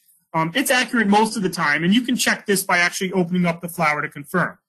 Um, but you'll find that the more mature plants will often produce two leaves, they have female flowers, and they will then produce your fruit. And there we see it there's our, our two leaves with uh, the green fruits, not yet mature. You can see the size of that plant, nice and big, um, female plant. The lady slippers or, or orchids in general are just mean in terms of the way they interact with pollinators. Um, there was a great book out there wrote, um, oh god, I can't remember the name, something to the extent of the strange world of orchid sex. Um, and it goes through orchids across the entire planet and the different ways that they produce seed. Um, our native ones are a little less mean than some of the, the non-natives. Um, that being said, they're still not all that nice to the native pollinators. Um, what they do is they produce a flower that is, in, in other words, it's a trap. Um, the flower looks like there's some good pollen or some nectar in there. The bee comes up to it. It lands. It kind of falls into this, this slipper of the lady slipper. Um, and it can't get out, or at least it can't get out easily. Um, and in the process of being in there, it, it gets these pollinia stuck to it. orchids kind of put all their pollen into this sac that's nice and sticky. Um, and the only way the bee is able to get out of this flower that is not feeding it anything at all is to climb up the backside where you can see that little pollinia sac. The pollen gets stuck onto its back. And then when it goes and visits another flower, the first thing it climbs down past is, is the, the stipule, um, where the, the pollinia sac will then get de- deposited and the orchid is able to produce its fruit. So the orchid is tricking the bee into thinking that there's food in there and then trapping it once it gets there, not giving it a darn thing. Um, and the bees will then go do it again and again and pollinate the orchids. Um, they do tend to learn, um, but there's always enough bees out there where you can get a couple of them visiting and you do tend to get good, um, you know, pollination. Some of our non-native orchids get a lot meaner than that. There are ones that drug bees. There's ones that produce flowers that look like female bees, and the, the male bee will try and mate with it and pollinate. There's other ones that will produce flowers that look like male bees, um, and the male bee will then take it as a territorial thing and will attack. Um, there's some amazing orchids out there. Okay, moving along, unexpected beauty. Um, I don't think too many people think of ferns for winter interest, um, but this one does it quite nicely. This is Matteuccia struthiopteris, the fiddlehead fern. This is the edible species. Um, this is the one, this is how it looks in the summertime. Um, easy an argument for a beautiful, you know, kind of summer show, nice and lush looking. Um, but then as the summer progresses, you get these um, the fertile fronds starting to form, and as it matures, it eventually dries out and will stand there all winter long, looking like this. This is the picture taken during the dormant season. Um, it's got a beautiful sort of you know texture and architecture to it that I find quite intriguing, um, especially considering these form patches, and you'll get multiples of these all forming up, um, and oftentimes sticking out of the snow. It may not be a big showy hibiscus flower, but nonetheless, especially in the wintertime, this is a cool display. Um, something that I either enjoy on the landscape or will sometimes, you know, cut stems of and bring inside and enjoy inside. Um, not your typical beauty and definitely not your typical beautiful time of year, um, but still quite a nice plant. Unique attractions are fun. Um, we have, as I said, a number of different attractions in New England. Um, this is Liquidambar styrus, uh, styrus I always get that one confused. Sweet gum.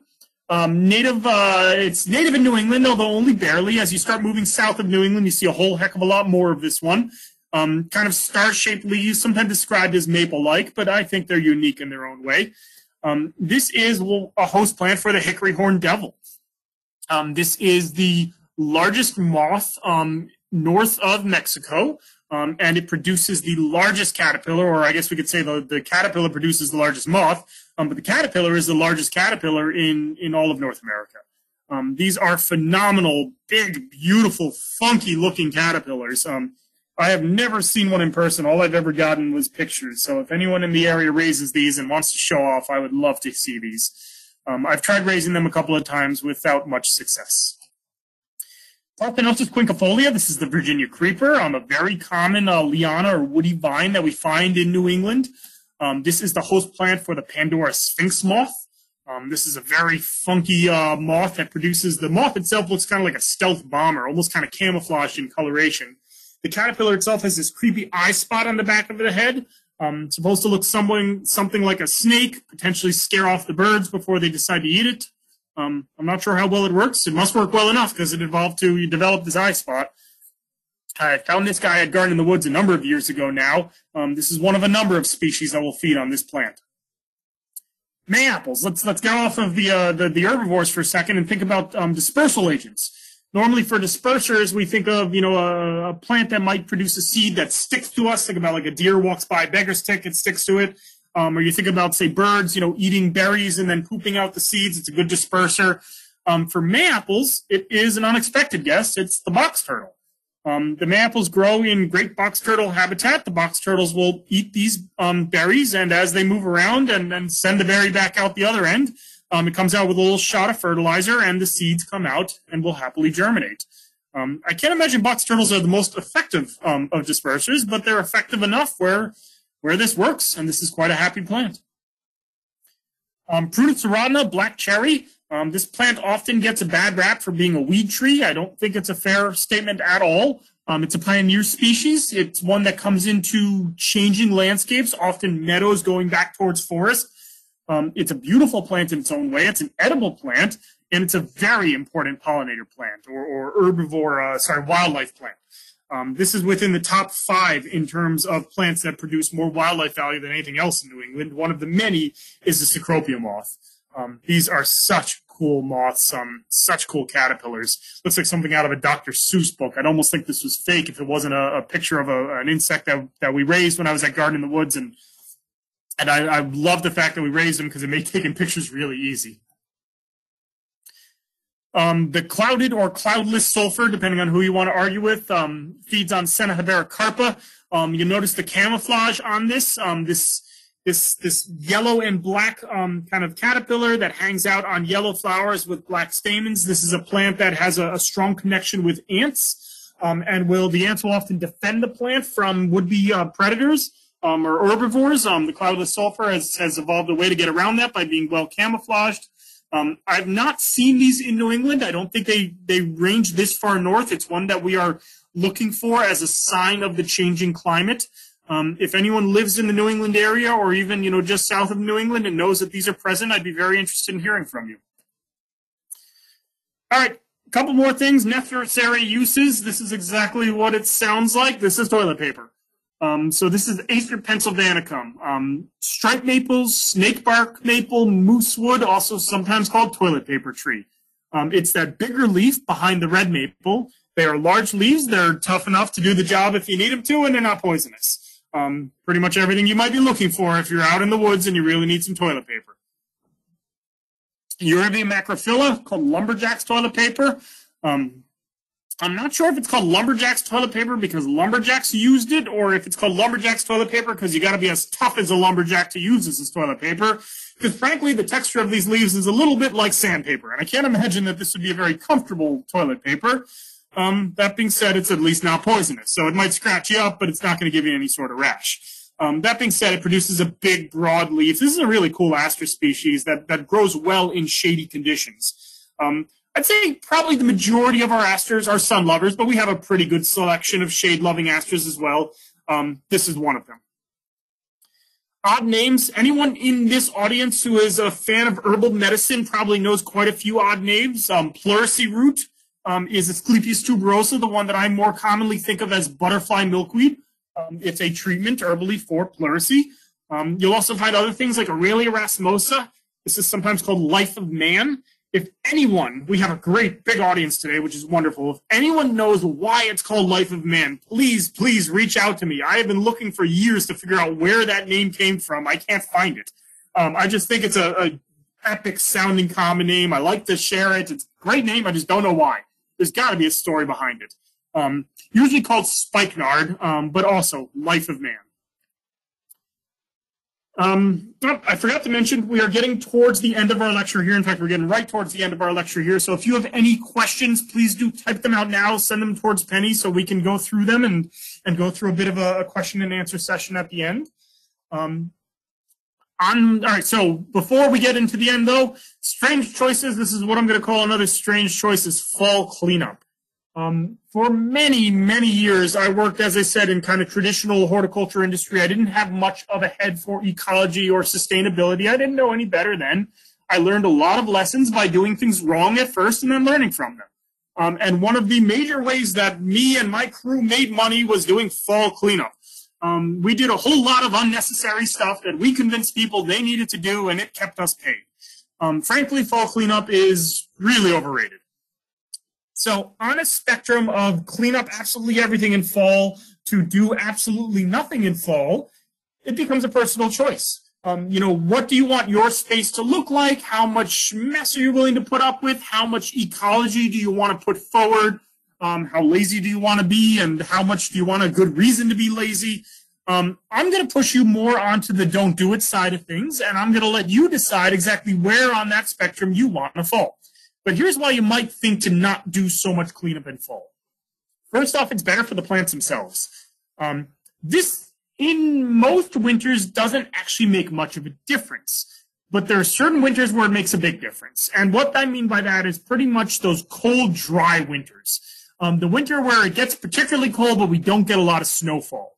Um, snow is a very good insulator. It's good at insulating the crowns of plants that are in many cases right underneath the soil level and stopping them from getting as cold as the ambient air temperatures. So when we get a dry winter and you don't get a lot of snow, you want as much snow as possible reaching that crown as, as, as could ever be possible. And what leaving plants standing does is collect snow on those stems. Look at the Samsonia here got all the snow collecting on the stems, and imagine that the day then starts to get a little warm and the snow starts to melt a little bit, and it starts to slide down those stems right onto the crown of the plant. Um, leaving the plant standing is actually quite a good way at directing what little snow you might get in a dry winter exactly where you want it to be.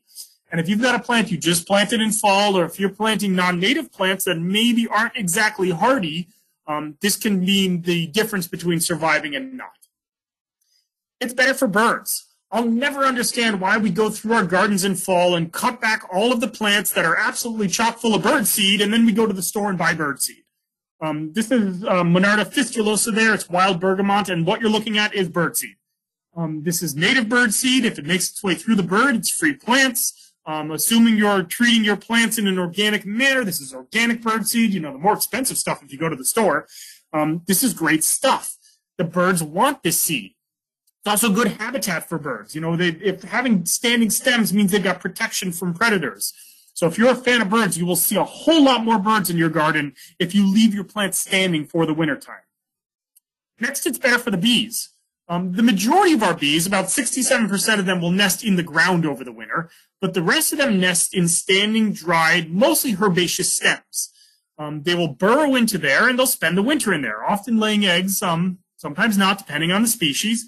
And if we go and cut back all of these stems in the fall, we've removed that habitat from the landscape. Leaving it up till the spring means that we've got habitat in place for those um, bees to nest in. Fair for the butterflies. Um, and what I mean by this is not the standing stems, but the down leaves. Um, we have a variety of butterflies that will overwinter either in a in a chrysalis stage or in some cases as eggs, or in the case of the woolly bear here as an actual caterpillar, and they will often nest in the leaf litter. Um, so if we're raking up all those leaves and taking them and leaving them on the, you know, kind of curbside for the garbage man to pick up, we're removing that habitat from the landscape. And finally, it's better for seedlings. Um, as I said, leaving stems standing up means leaving seed in place. There's a lot of plants that have developed the, the strategy where they will distribute a lot of their seed before the snows hit, but will also, you know, there will still be some seed distributing after snow is hit. Imagine seed hitting the top of snow, especially if we get that kind of icy sheet on top. A little light wind can blow seed long distances. It's a great strategy for dispersing seed, you know, insurance policy, multiple methods of dispersal. Um, and so if we're cutting back our plants in fall, we're removing that seed bank. Um, I like having a seed bank in place. It means that the weeds in my garden are things like Rudbeckia hirta and Monarda punctata and lobelias and the sort of plants that I love having as weeds. Um, you know, they're not even weeds at that point, although maybe you can argue they are depending on where they're growing. Last reason is it's better for us. This is a selfish one, but it's really not all that selfish. It looks cool. Um, this is something we can see all winter long. You know, this is this is anemone virginiana. This is thimbleweed. Um, this is a cool texture in the wintertime. Think about the, the Matteuccia that I was mentioning, the fiddlehead fern. Um, I like seeing these textures in the wintertime. They make for interest on the landscape. Um, you know, the, the beauty of snow doesn't get diminished at all by having some cool textures added to it. Um, and it's something that I will enjoy each time I see it. With that in mind, um, I'm a bit over on my time. It's 120. I'm surprised. I usually go really fast with these uh, webinars. Um, I am open for questions now. Please send them along in the questions function, and Penny is likely looking through them now, and we'll pass them along to me, and we'll see what we can do. Thank you all for paying attention to me. I hope you enjoyed it, and uh, stick around if you want to hear some questions answered. Penny, you there? Thanks, Dan. This is this is great. We have several questions. Would you recommend a book or two for a source of native edibles and or foraging? Um, yes, although instead of recommending books, let me give you authors. Um, Samuel Thayer, um, he wrote a couple different books. Um, I think, let's see, yo, Nate, you know, I'm blanking on the names of his books. He's got three books out there. I think it's Nature's Harvest and maybe a Gardener's Bounty, something like that. But the name is Samuel Thayer. Um, he was a food scientist turned forager. So what's kind of nice about his books is he goes through specifics on nutrition and things like, uh, you know, there's a, a, a, myth out there. It's false that milkweed is poisonous. It's not. It's wonderfully edible. Um, and he talks about how he tested it and what he did to confirm that. Um, a really good local author, Russ Cohen. He wrote the book uh, Wild Plants I've Known and Eaten. Um, what he does that Samuel Thayer does not is he introduces some really wonderful recipes in amongst his books. Um, he will talk about how to make, say, a, uh, a Japanese um, knotweed fritter um, or or Jerusalem artichoke pie, or he's got some fantastic um, edible kind of things in there, not only on natives but also on invasives. Um, he likes to recommend the idea of removing invasives by eating the things and, and kind of getting rid of them in addition to, you know, yank them out and then eat them, not not plant them because they're tasty. He's, he's quite clear about that and read the introduction to his book. Um, let's see if there's any others that jump out at me. Those are the two that I go to first: Samuel Thayer and Russ Cohen. Um, there's some other books out there. There was a book just released recently um, on native plant agriculture. Um, I just picked it up the other day. I haven't had a chance to read through it yet. I've heard good things about it, um, but I can't speak to experience just yet. I'm hoping in the future I will be able to add my name to the list of of native plant edible books out there. I'm, I'm hoping to produce one, but I don't have anything just yet. Great. Thanks, Dan. Will Pennsylvania sedge and wild strawberry grow well in the mid Maryland area through their heat and humidity? So um, I would recommend reaching out to. Um, so the, the simple answer is yes. Um, Fragaria virginiana will grow absolutely anywhere. That thing grows from Maine down through Florida and is quite happy absolutely anywhere. Um, Pennsylvania sedge, um, Mount Cuba did a number of trials a couple of years ago on sedges. One of the ones they tested was Pennsylvania sedge, and I would recommend reaching out to them for distinct details as to exactly where it does well and where it does not. Um, in New England, I could say Pennsylvania sedge will do well anywhere from sun to shade and everywhere in between. Um, in the Maryland area, I know it will do perfectly fine in shady conditions. I expect it would do well in the sun as well, but you can get a better local source of information um, by reaching out to Mount Cuba. I think you could probably just find the information right on their website. Um, but George Coombs, who's now their director of horticulture, used to run their trial program, um, and he knows everything about growing sedges in exactly your neck of the woods. Very good. Which herbaceous plants are good for bee nesting? For bee nesting, um, so herbaceous plants. Um, let me let me flip it around real quickly and give you the two woody species I know that are good because it's mostly herbaceous plants. So if you're doing woodies, we're talking about rubus and sambucus. So those are our raspberries, blackberries, those sort of things, and elderberry, um, both of which are good for bee nesting. Um, on the herbaceous spectrum, the ones that I know are considered kind of top of the list are the Joe Pye weeds. Um, those are often loved by, by our native bees. Um, I have heard reports that you can find uh, native bees in a variety of the mint species, so that includes the bee balms, the Scutellaria, Agastache. You can find them in goldenrods quite readily. And asters seem to be hit or miss. Um, from what I understand, you will often find them in the sun-loving asters, but not the shade-loving asters. Um, to throw out another name of someone who could probably answer that question even more effectively than I could, check out Heather Holm. Um, she's written a number of books on bees, and every time I've had a bee question and I've sent it her way, she's given me a full answer in its entirety.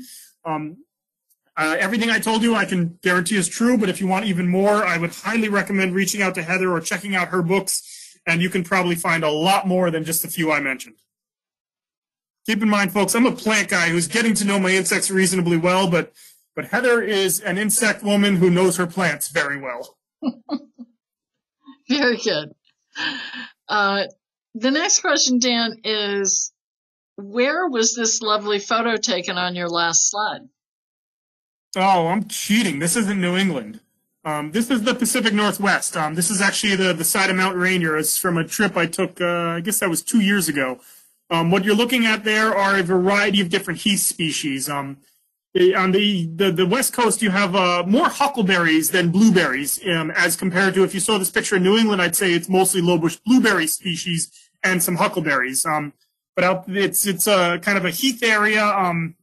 This I can't remember what the elevation was, but quite high. Um, I think the the low elevation of of Mount Rainier is about as high as the highest elevation in New England. Um, it's an absolutely beautiful place. I highly recommend it for a visit. It's kind of ironic. I went there in fall, and the Pacific Northwest has a lot going for it. Um, but fall foliage compared to New England is nothing. You know, we, we've got the fall foliage in New England that blows everyone else out of the water. And I was scoffing at how, you know, the Pacific Northwest couldn't compare to New England in fall foliage um, until I went to Mount Rainier and realized that though they may not have as widespread of a fall foliage display as we have in New England, there are certain places like Rainier here that are absolutely phenomenal in fall. Um, down in low elevation, you get the big leaf asters, sorry, um, big leaf maples, which fall wise, color wise, are nothing all that spectacular. They have some amazing other aspects to them that make them a really, really cool maple species. Um, but compare them to, say, a red maple, uh, at least on that count, you know, New England's got the West Coast beat, but Mount Rainier in fall is incredible. That's a stunning photo. Next question. When is it safe to clean up in the spring without hurting the wildlife species? So, um, Xerces Society has been really good about giving me some detailed information on this. And when I last reached out to them, they told me look for, so that what I used to say was look for things flying around. You know, if you see bees buzzing around, you're good to go. Um, they made it a little more specific. And what they recommended to me is look for three consecutive days that are reaching 50 degrees.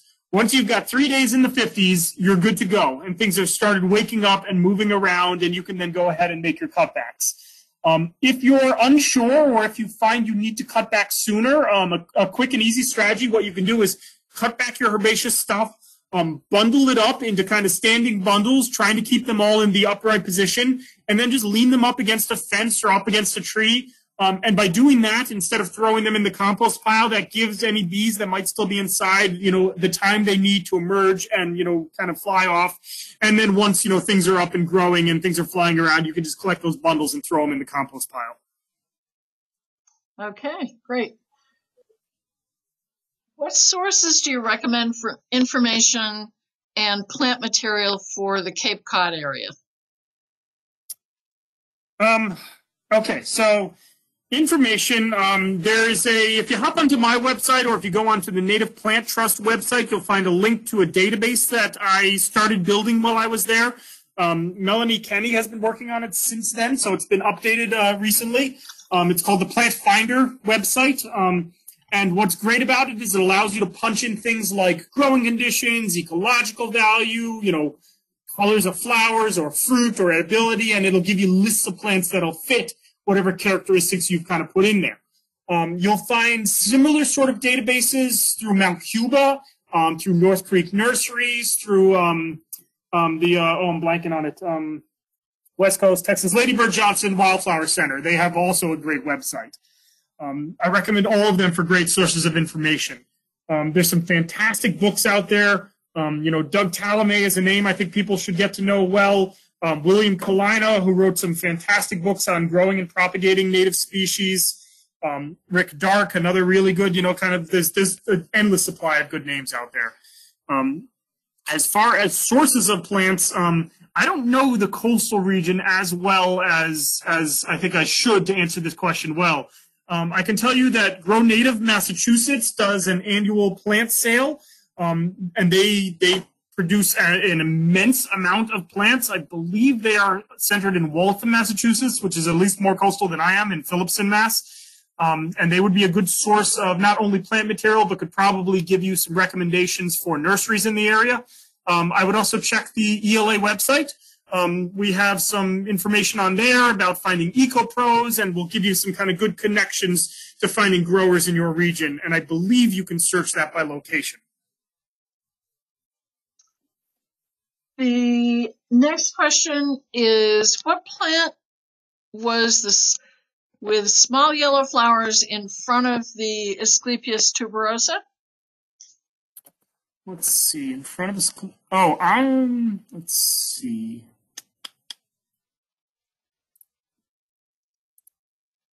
Um, assuming we're talking about this picture here, um, that's Baptisia tinctoria. It's our native yellow wild indigo. Um, so most people know Baptisia australis as the more common Baptisia in the area. It's it's actually not one that grows naturally in New England. It grows a little south and west of us. Um, it's still a fantastic plant for gardens. Um, but our, our, the one that you would find naturally occurring in New England is this one here. It's Baptisia tinctoria, yellow wild indigo. I expect that's probably the plant they were talking about. Excellent. Very good. Thank you. We had several comments about sunchokes and the gaseous nature. Uh, this one person left a comment saying leave them in the winter, leave them in the ground over winter and harvest in the spring, and that uh, cuts down on that problem. So thank you for that. We have. Yes, I'm also. Go ahead. I've, I've heard a couple strategies for reducing the, the gaseous erupt, eruptations. Um, one of them is freezing it, and so exactly what was just said makes perfect sense. The, the version of it I've heard in the past is to prep your, you know, your kind of your your tubers. Um, some people like to shred them and then stick them in the freezer for a little bit before cooking them, and that helps. Um, one thing I found that helps is I will often skin them, um, and then when possible, cook them on the low and slow side of things instead of the hot and fast. You know, a, a long slow bake in the oven seems to really help with reducing the you know the kind of the gas effects. Um, the one thing I will mention is that the, the, the advantages that inulin provides from a diabetic's point of view um, are also reduced whenever you're doing, you know, what you're doing is you're reducing the inulin content. And that's exactly what you want if you're talking from a diabetic's point of view. Um, so if, if you're just, if you're not thinking diabetics at all and you really just don't want to fart as much, freeze them or skin them in a long, slow cook. If you're thinking about eating them for a dietary kind of health point of view and you're thinking about this from a diabetic point of view, to some extent, you can say the more you fart, the better you are. Okay, very good. Um, the next is Do you have any other suggestions for ideal companions the way you suggested sunchoke and groundnuts? Um, so the, well, um, yes, but too many to mention here. So one of the things that I'll often do is I, I look towards shady environments, assuming they're asking about edible species. Um, I look towards growing food in the shade where companion planting works quite readily. Um, I have, you know, my raised beds where I grow a lot of my annual kind of vegetable crops in the sun. And then in the shade, I've got a combination of Druce, sorry, not Jerusalem artichoke, um, Solomon seals, um, fiddlehead ferns, ramps, mayapples, um, these are all species that work well kind of interplanted together.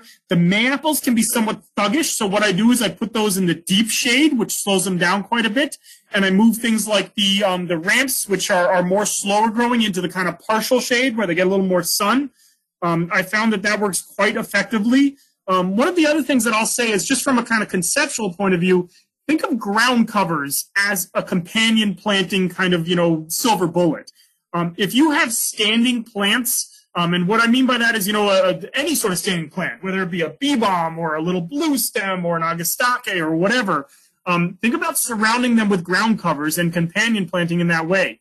Start looking at all the mulch in your garden as a spot where you could be filling it up with lots more ground covers. And those ground covers become pretty much your living mulch and everything becomes a companion planting as these ground covers companion with all your standing perennials. Very good. In your research, what sunchoke would re- you recommend that's the least invasive? Or is there such a um, So there's yes and no. Um, first off, I'll say that invasive as a term is something that I specifically hold towards true invasive species. And what I mean by that is non-native species that cause environmental and ecological harm. Um, as a native species, I could easily call this one a thug, but I wouldn't call it invasive.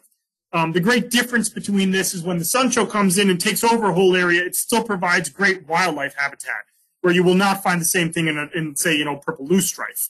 Um, in terms of better behaved, so this is the first year where I'm going to be testing out a variety of different, um, you know, cultivars and varieties, and there's a number that have been grown specifically to be better behaved. Um, I haven't yet worked with any of them, so all I can say is I'm going to be testing it this year. What I've been working with in the past are seed-grown, you know, forms, individuals that I've grown, and they've all been quite vigorous. Um, I would recommend looking at, oh, I can't remember if it was, I think it was Oikos, if I remember correctly, was the company I purchased mine from, um, who, I don't know if someone there is really into them or if they just happen to acquire a, a bunch of different varieties but they had something like 30 different cultivated forms that all have good descriptions talking about differences in flavor, differences in growth, differences in harvest and cleaning. Um, I would check out their website and see what they've got to offer.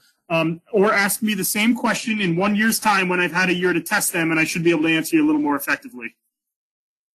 Okay, very good.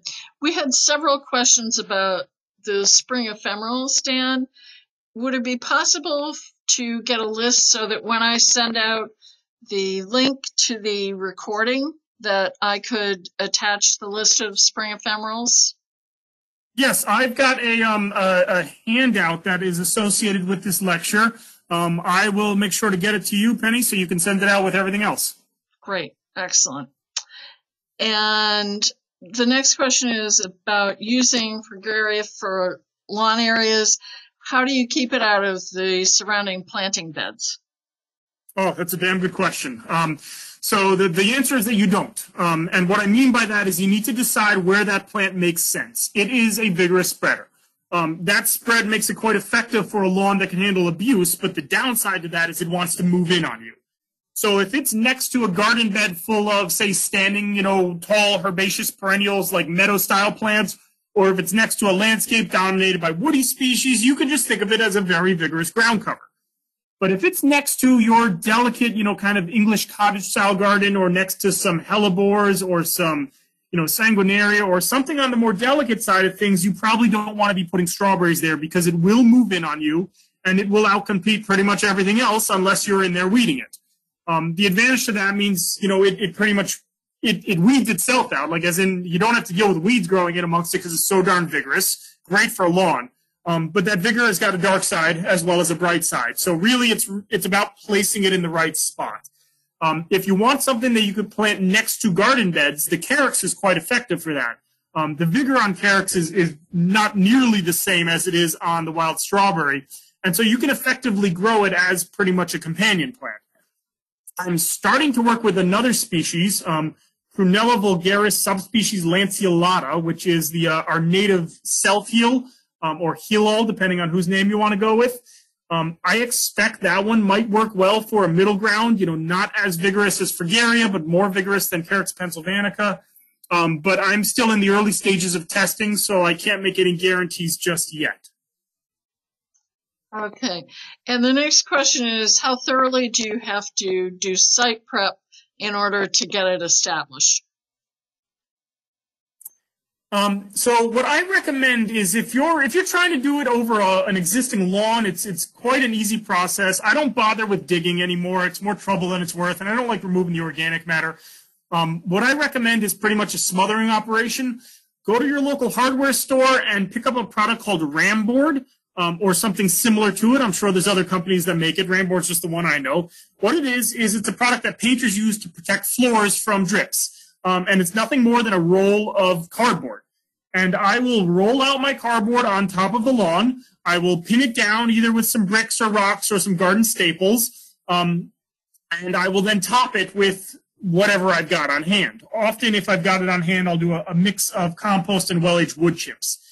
And from there, you can just wait till that lawn is smothered and then plant directly on top of it. You never remove the cardboard.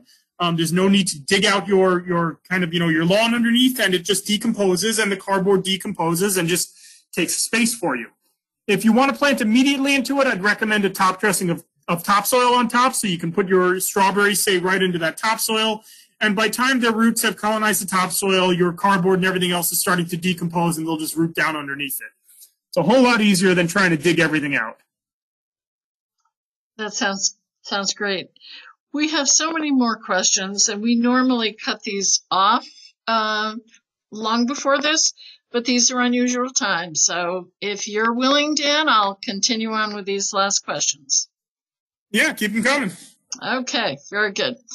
Uh, you mentioned three consecutive days of 50 degrees this is asking for a clarification. Is that daytime temperature?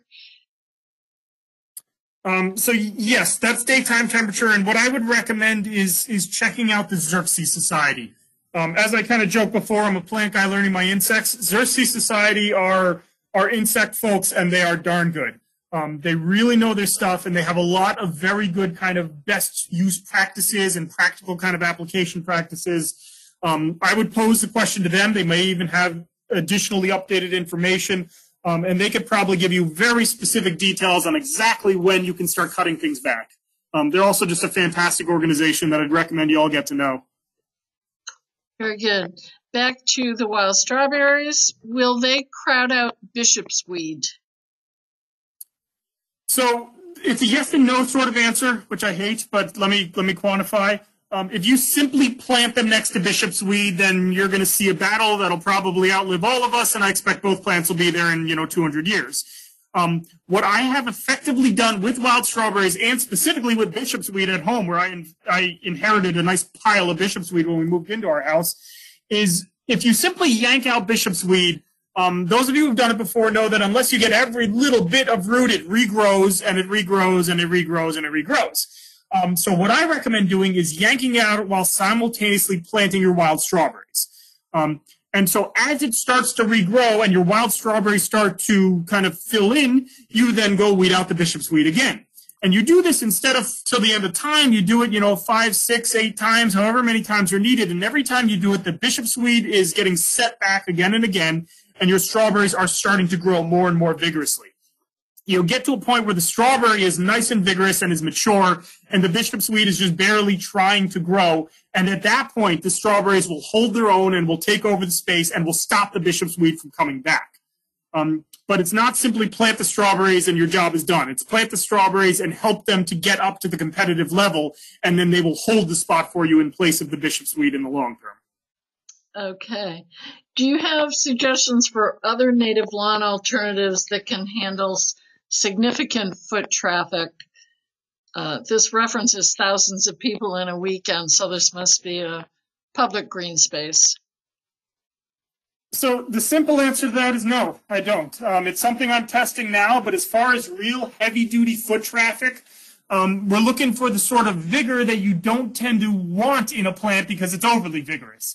Um, and that's where the strawberries are really the, my kind of best option is that they've got the, the amount of vigor that we need.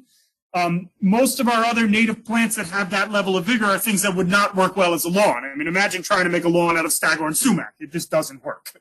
Um, this is where I will say kill your lawns. They're terrible things. They're awful in the environment, but I'm not going to say that every single lawn needs to go because there's still a value in turf grass for exactly those sort of uses. Um, you know, for example, here at Norcross, we don't do a lot of lawns other than as turf trails. Um, our, our, trails through the gardens are often a, a, European turf grass. We try and treat it well. Um, but that is something that um, we're actually starting to work with more strawberries taking their place. but every test I've done with other native alternatives that can grow well as a lawn have not been able to handle that level of foot traffic. When you start getting to those higher levels, um, that's where we still need more testing. I'm not going to say there aren't good options out there. I'm just going to say I don't know them yet. Um, we are working on it. I'm hoping to see something in the future. There's um, there's Prunella vulgaris that I mentioned. I think that that one I know can handle foot traffic. How much foot traffic I, it can handle is still to be considered. Um, the other one that is in the spectrum that I, have really not yet tested much yet is Festuca rubra variety rubra, which is our native red fescue. Um, you'll find a lot of red fescue in, in lawn mixes. It's the European red fescue. We have a native one. Telling the two apart is very challenging. Um, and so being able to get your hands on the right one and then testing it has been a bit of a bottleneck for me. Um, that being said, it's one that I hope to test in the future. But unfortunately, I don't have a good answer for this question. Not yet, at least. Okay. Uh, this is a comment that yarrow is another great hardy lawn alternative that can be mowed. Have you had experience with that? Um, I've had it in meadows um, where it's grown and it's handled, you know, a, a, meadow style mowing, as in like every one to three to five years. But I've never used it in a lawn sort of application. Um, I'd be curious to give that a try. I've I don't know. Okay. Uh, uh, this is a comment. I was curious if cottonwood fluff can be used as kapok or milkweed I would expect that it likely could be, although uh, not speaking from experience and having tried here, I think the limiting factor with that one would be um, availability of the material in large amounts. Um, think about how much fluff you can get out of a field of milkweed. Um, you know, it can it could really be an immense amount. Um, whereas cottonwoods, you know, though you can grow quite a few of them, collecting the fluff and getting the mass of it would probably be your limiting factor. Um, the kapok trees were grown in plantations. They were managed specifically for that purpose. Um, I would expect it would probably work just fine, although these days everything is pretty much filled with synthetic material and there's not a lot of use of the natural materials anymore. Um, that being said, I've, I've heard of a couple companies that are stuffing pillows with milkweed fluff, and um, I'd like to think that there's going to be a bit more of it in the future. Very good. We've had a few questions about the poisonous nature of certain plants, taxus, sassafras, and others. Is there a resource that you could recommend for toxicity? You know, I've looked for years for a good resource on toxicity, and I haven't found one. Um, I could I could give you the name Samuel Thayer that I mentioned for edible stuff. He talks a lot about you know, the, the medicinal, poisonous, edible value on the plants that he does talk about. Um, but he doesn't talk about toxicity across the board by any means. Um, there's a website that I like to check somewhat regularly called Plants for a Future, um, which has a lot of information in terms of edibility and medicinal and poison. Um, but the the information is mixed. There's some really good information on there. There's some information on there where what, what they're good at doing is saying when they can't confirm the information they have. So, for example, they will say, you know, we found reports this is poisonous. We cannot confirm. We don't know the source. That sort of thing. They're honest about whether you know how good their information is. Um, so they're probably a good starting source. And, and one of the things I really like about them is uh, you you can whenever they have a recommendation they'll have a little you know kind of note next to it that'll lead you towards their source page and then you can go through their sources and get additional information um, i don't have a great source though on on toxicity specifically and if anyone else does i would love to hear about it okay we have a couple of things more on edibles one is to remind us all about stalking the wild asparagus by Euell Gibbons. Thank you. That's a that. fantastic book. Yes, great suggestion. Uh, the next is on cinnamon fern heads. Are they edible? They are not.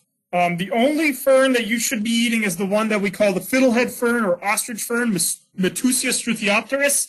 Um, there's some historical um, edibility within some of the, the, the, Native American tribes of lady fern and bracken fern, but neither one has been studied um, to the extent that fiddlehead fern has. We know exactly what you can and can't eat with fiddlehead fern. Um, and the basic rundown on it is that it's edible when prepared correctly. It's not hard to prepare correctly, but you do need to know what you're doing. Um, you want to start by cooking it in a large batch of boiling water.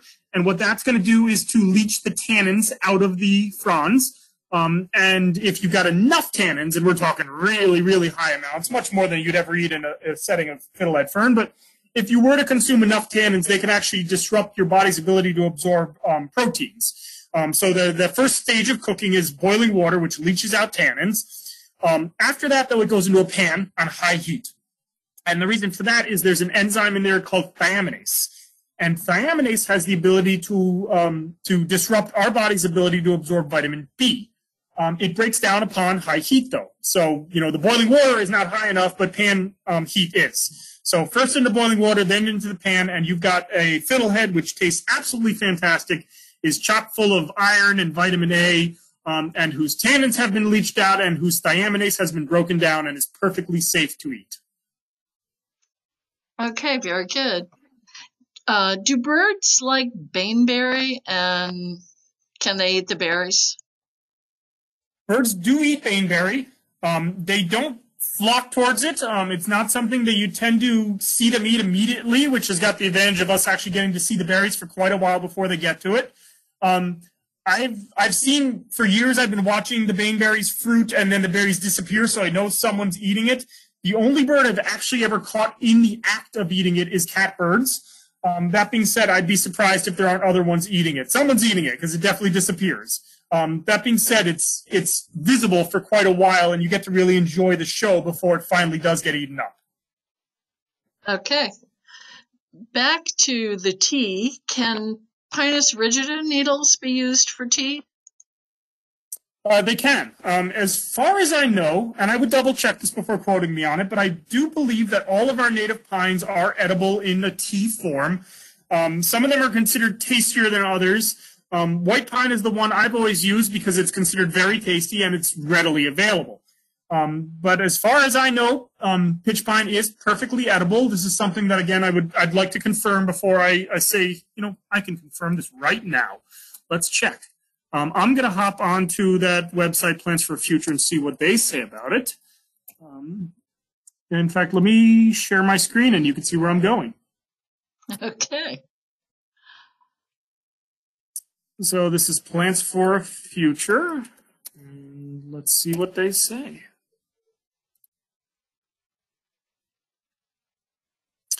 So we've got an edibility rating of one out of five, pretty poor. There's a known hazard here. The wood, sawdust, and resins from various species of pine can cause dermatitis in sensitive people. So don't take a dust bath in pine. Scrolling down to edibility, the vanilla flavoring is obtained as a byproduct of other resins that are released from the pulpwood.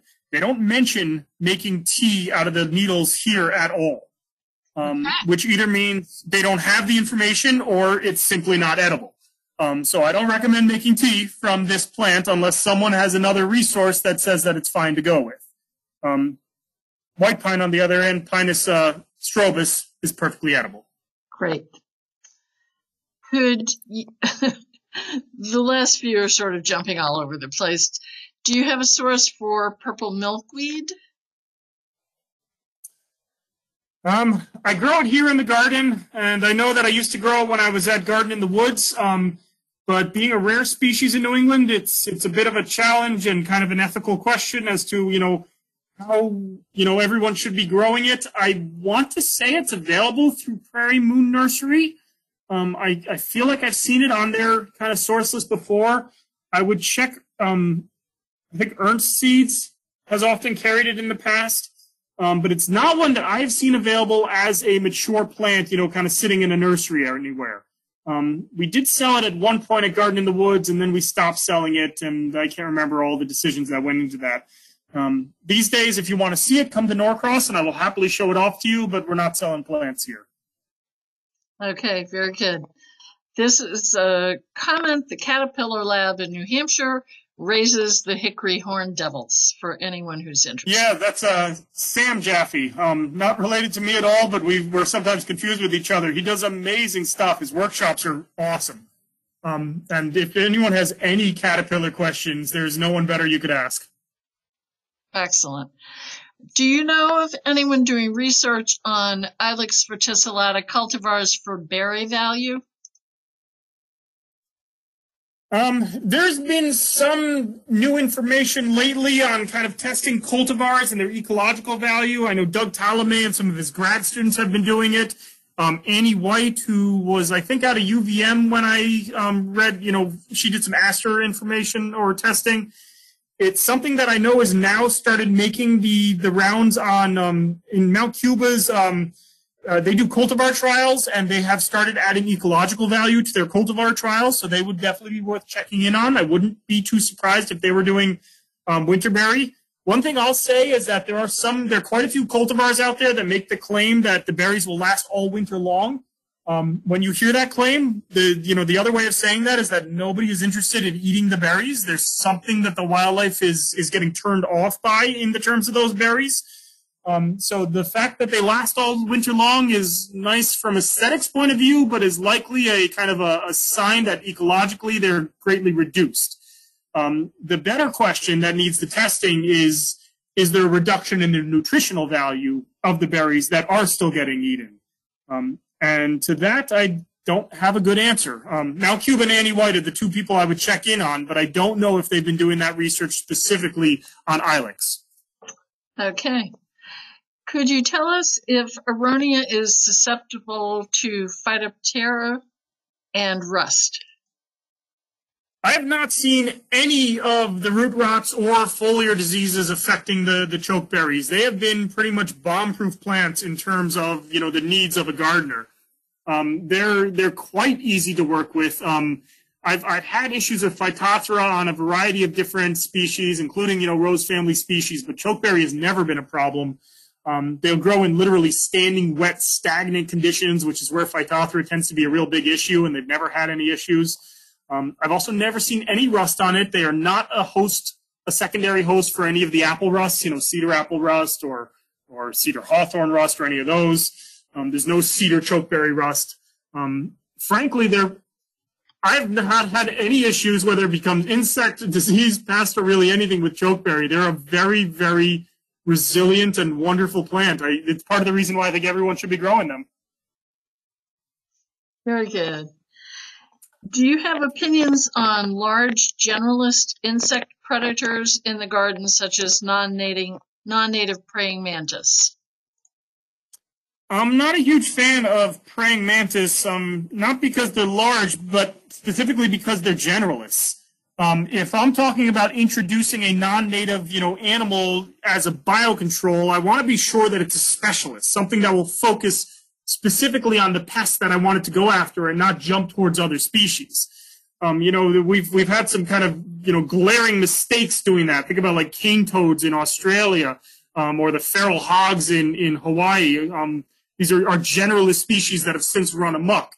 Whereas if you look at something like the Galerucella beetle, which has been released to um, to take care of purple loosestrife, or the tachinid fly, which has been released for the is that woolly adelgid? No, that was winter moth.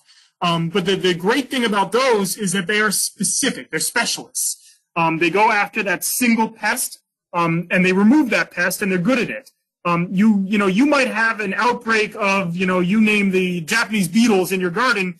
You release praying mantis. There's nothing saying the praying mantis is going to eat the Japanese beetle. They could just as easily go out and start eating your bumblebees. Um, so what I'm looking for is specificity in any releases that I'm thinking about making, and I think that's really an important piece to uh, to bring into it. Um, praying mantis aren't very good at that, um, but there are other ones that are. Um, you know, look towards things like lacewings or Galerucella beetles, tachinid flies. Um, I feel like I'm throwing a lot of names at people today, but um, Joe Elkinton. Um, I think he's out of URI or maybe Worcester Polytechnic. I'm not sure. Joe Elkinton's definitely the right name. Um, he's done quite a bit of research on insect biocontrols. Um, he has managed um, the winter moth control in Massachusetts for a number of years now. Um, definitely a good source of information on on biocontrols in in our native flora. All right. Can you recommend a resource for learning wildlife and faunal associations? There's maybe they mean floral. Yeah, there's there's not been a, a lot recently or, or even in the past on connecting the two. Often the, the resources are here's a good resource for learning your plants, here's a good resource for learning your insects, and finding the connection between the two has been the challenge that that I've been trying to kind of find a middle ground for. Um, Heather Holm, who I mentioned earlier, is great for um, you know specifically bees and their interactions with native plants. Um, Doug Tallamy has been great for uh, connection between, um, you know, kind of uh, mostly the, the Lepidoptera and our native plants. Um, he connected with the uh, National Wildlife Federation and they made a plant finder database that is specific towards um, floral and faunal connections where, you know, you punch in a plant and it'll tell you the various different insects that'll host on it or vice versa. Um, so I would I'd recommend checking out the, the National Wildlife Federation's Plant Finder app or, or Native Plant Finder, something to that extent. You'll find it. Um, but there has not been. It's kind of a, a, almost. I won't say it's a new branch of science by any means, but it's it's a new interest, or there's there's been new um, interest in people researching it, and we're kind of at the early stages. Um, so there's not a ton out there just yet, but there's a lot more coming along as we go. Okay, we're going to wrap it up with one final question because we're coming up on a two hour mark.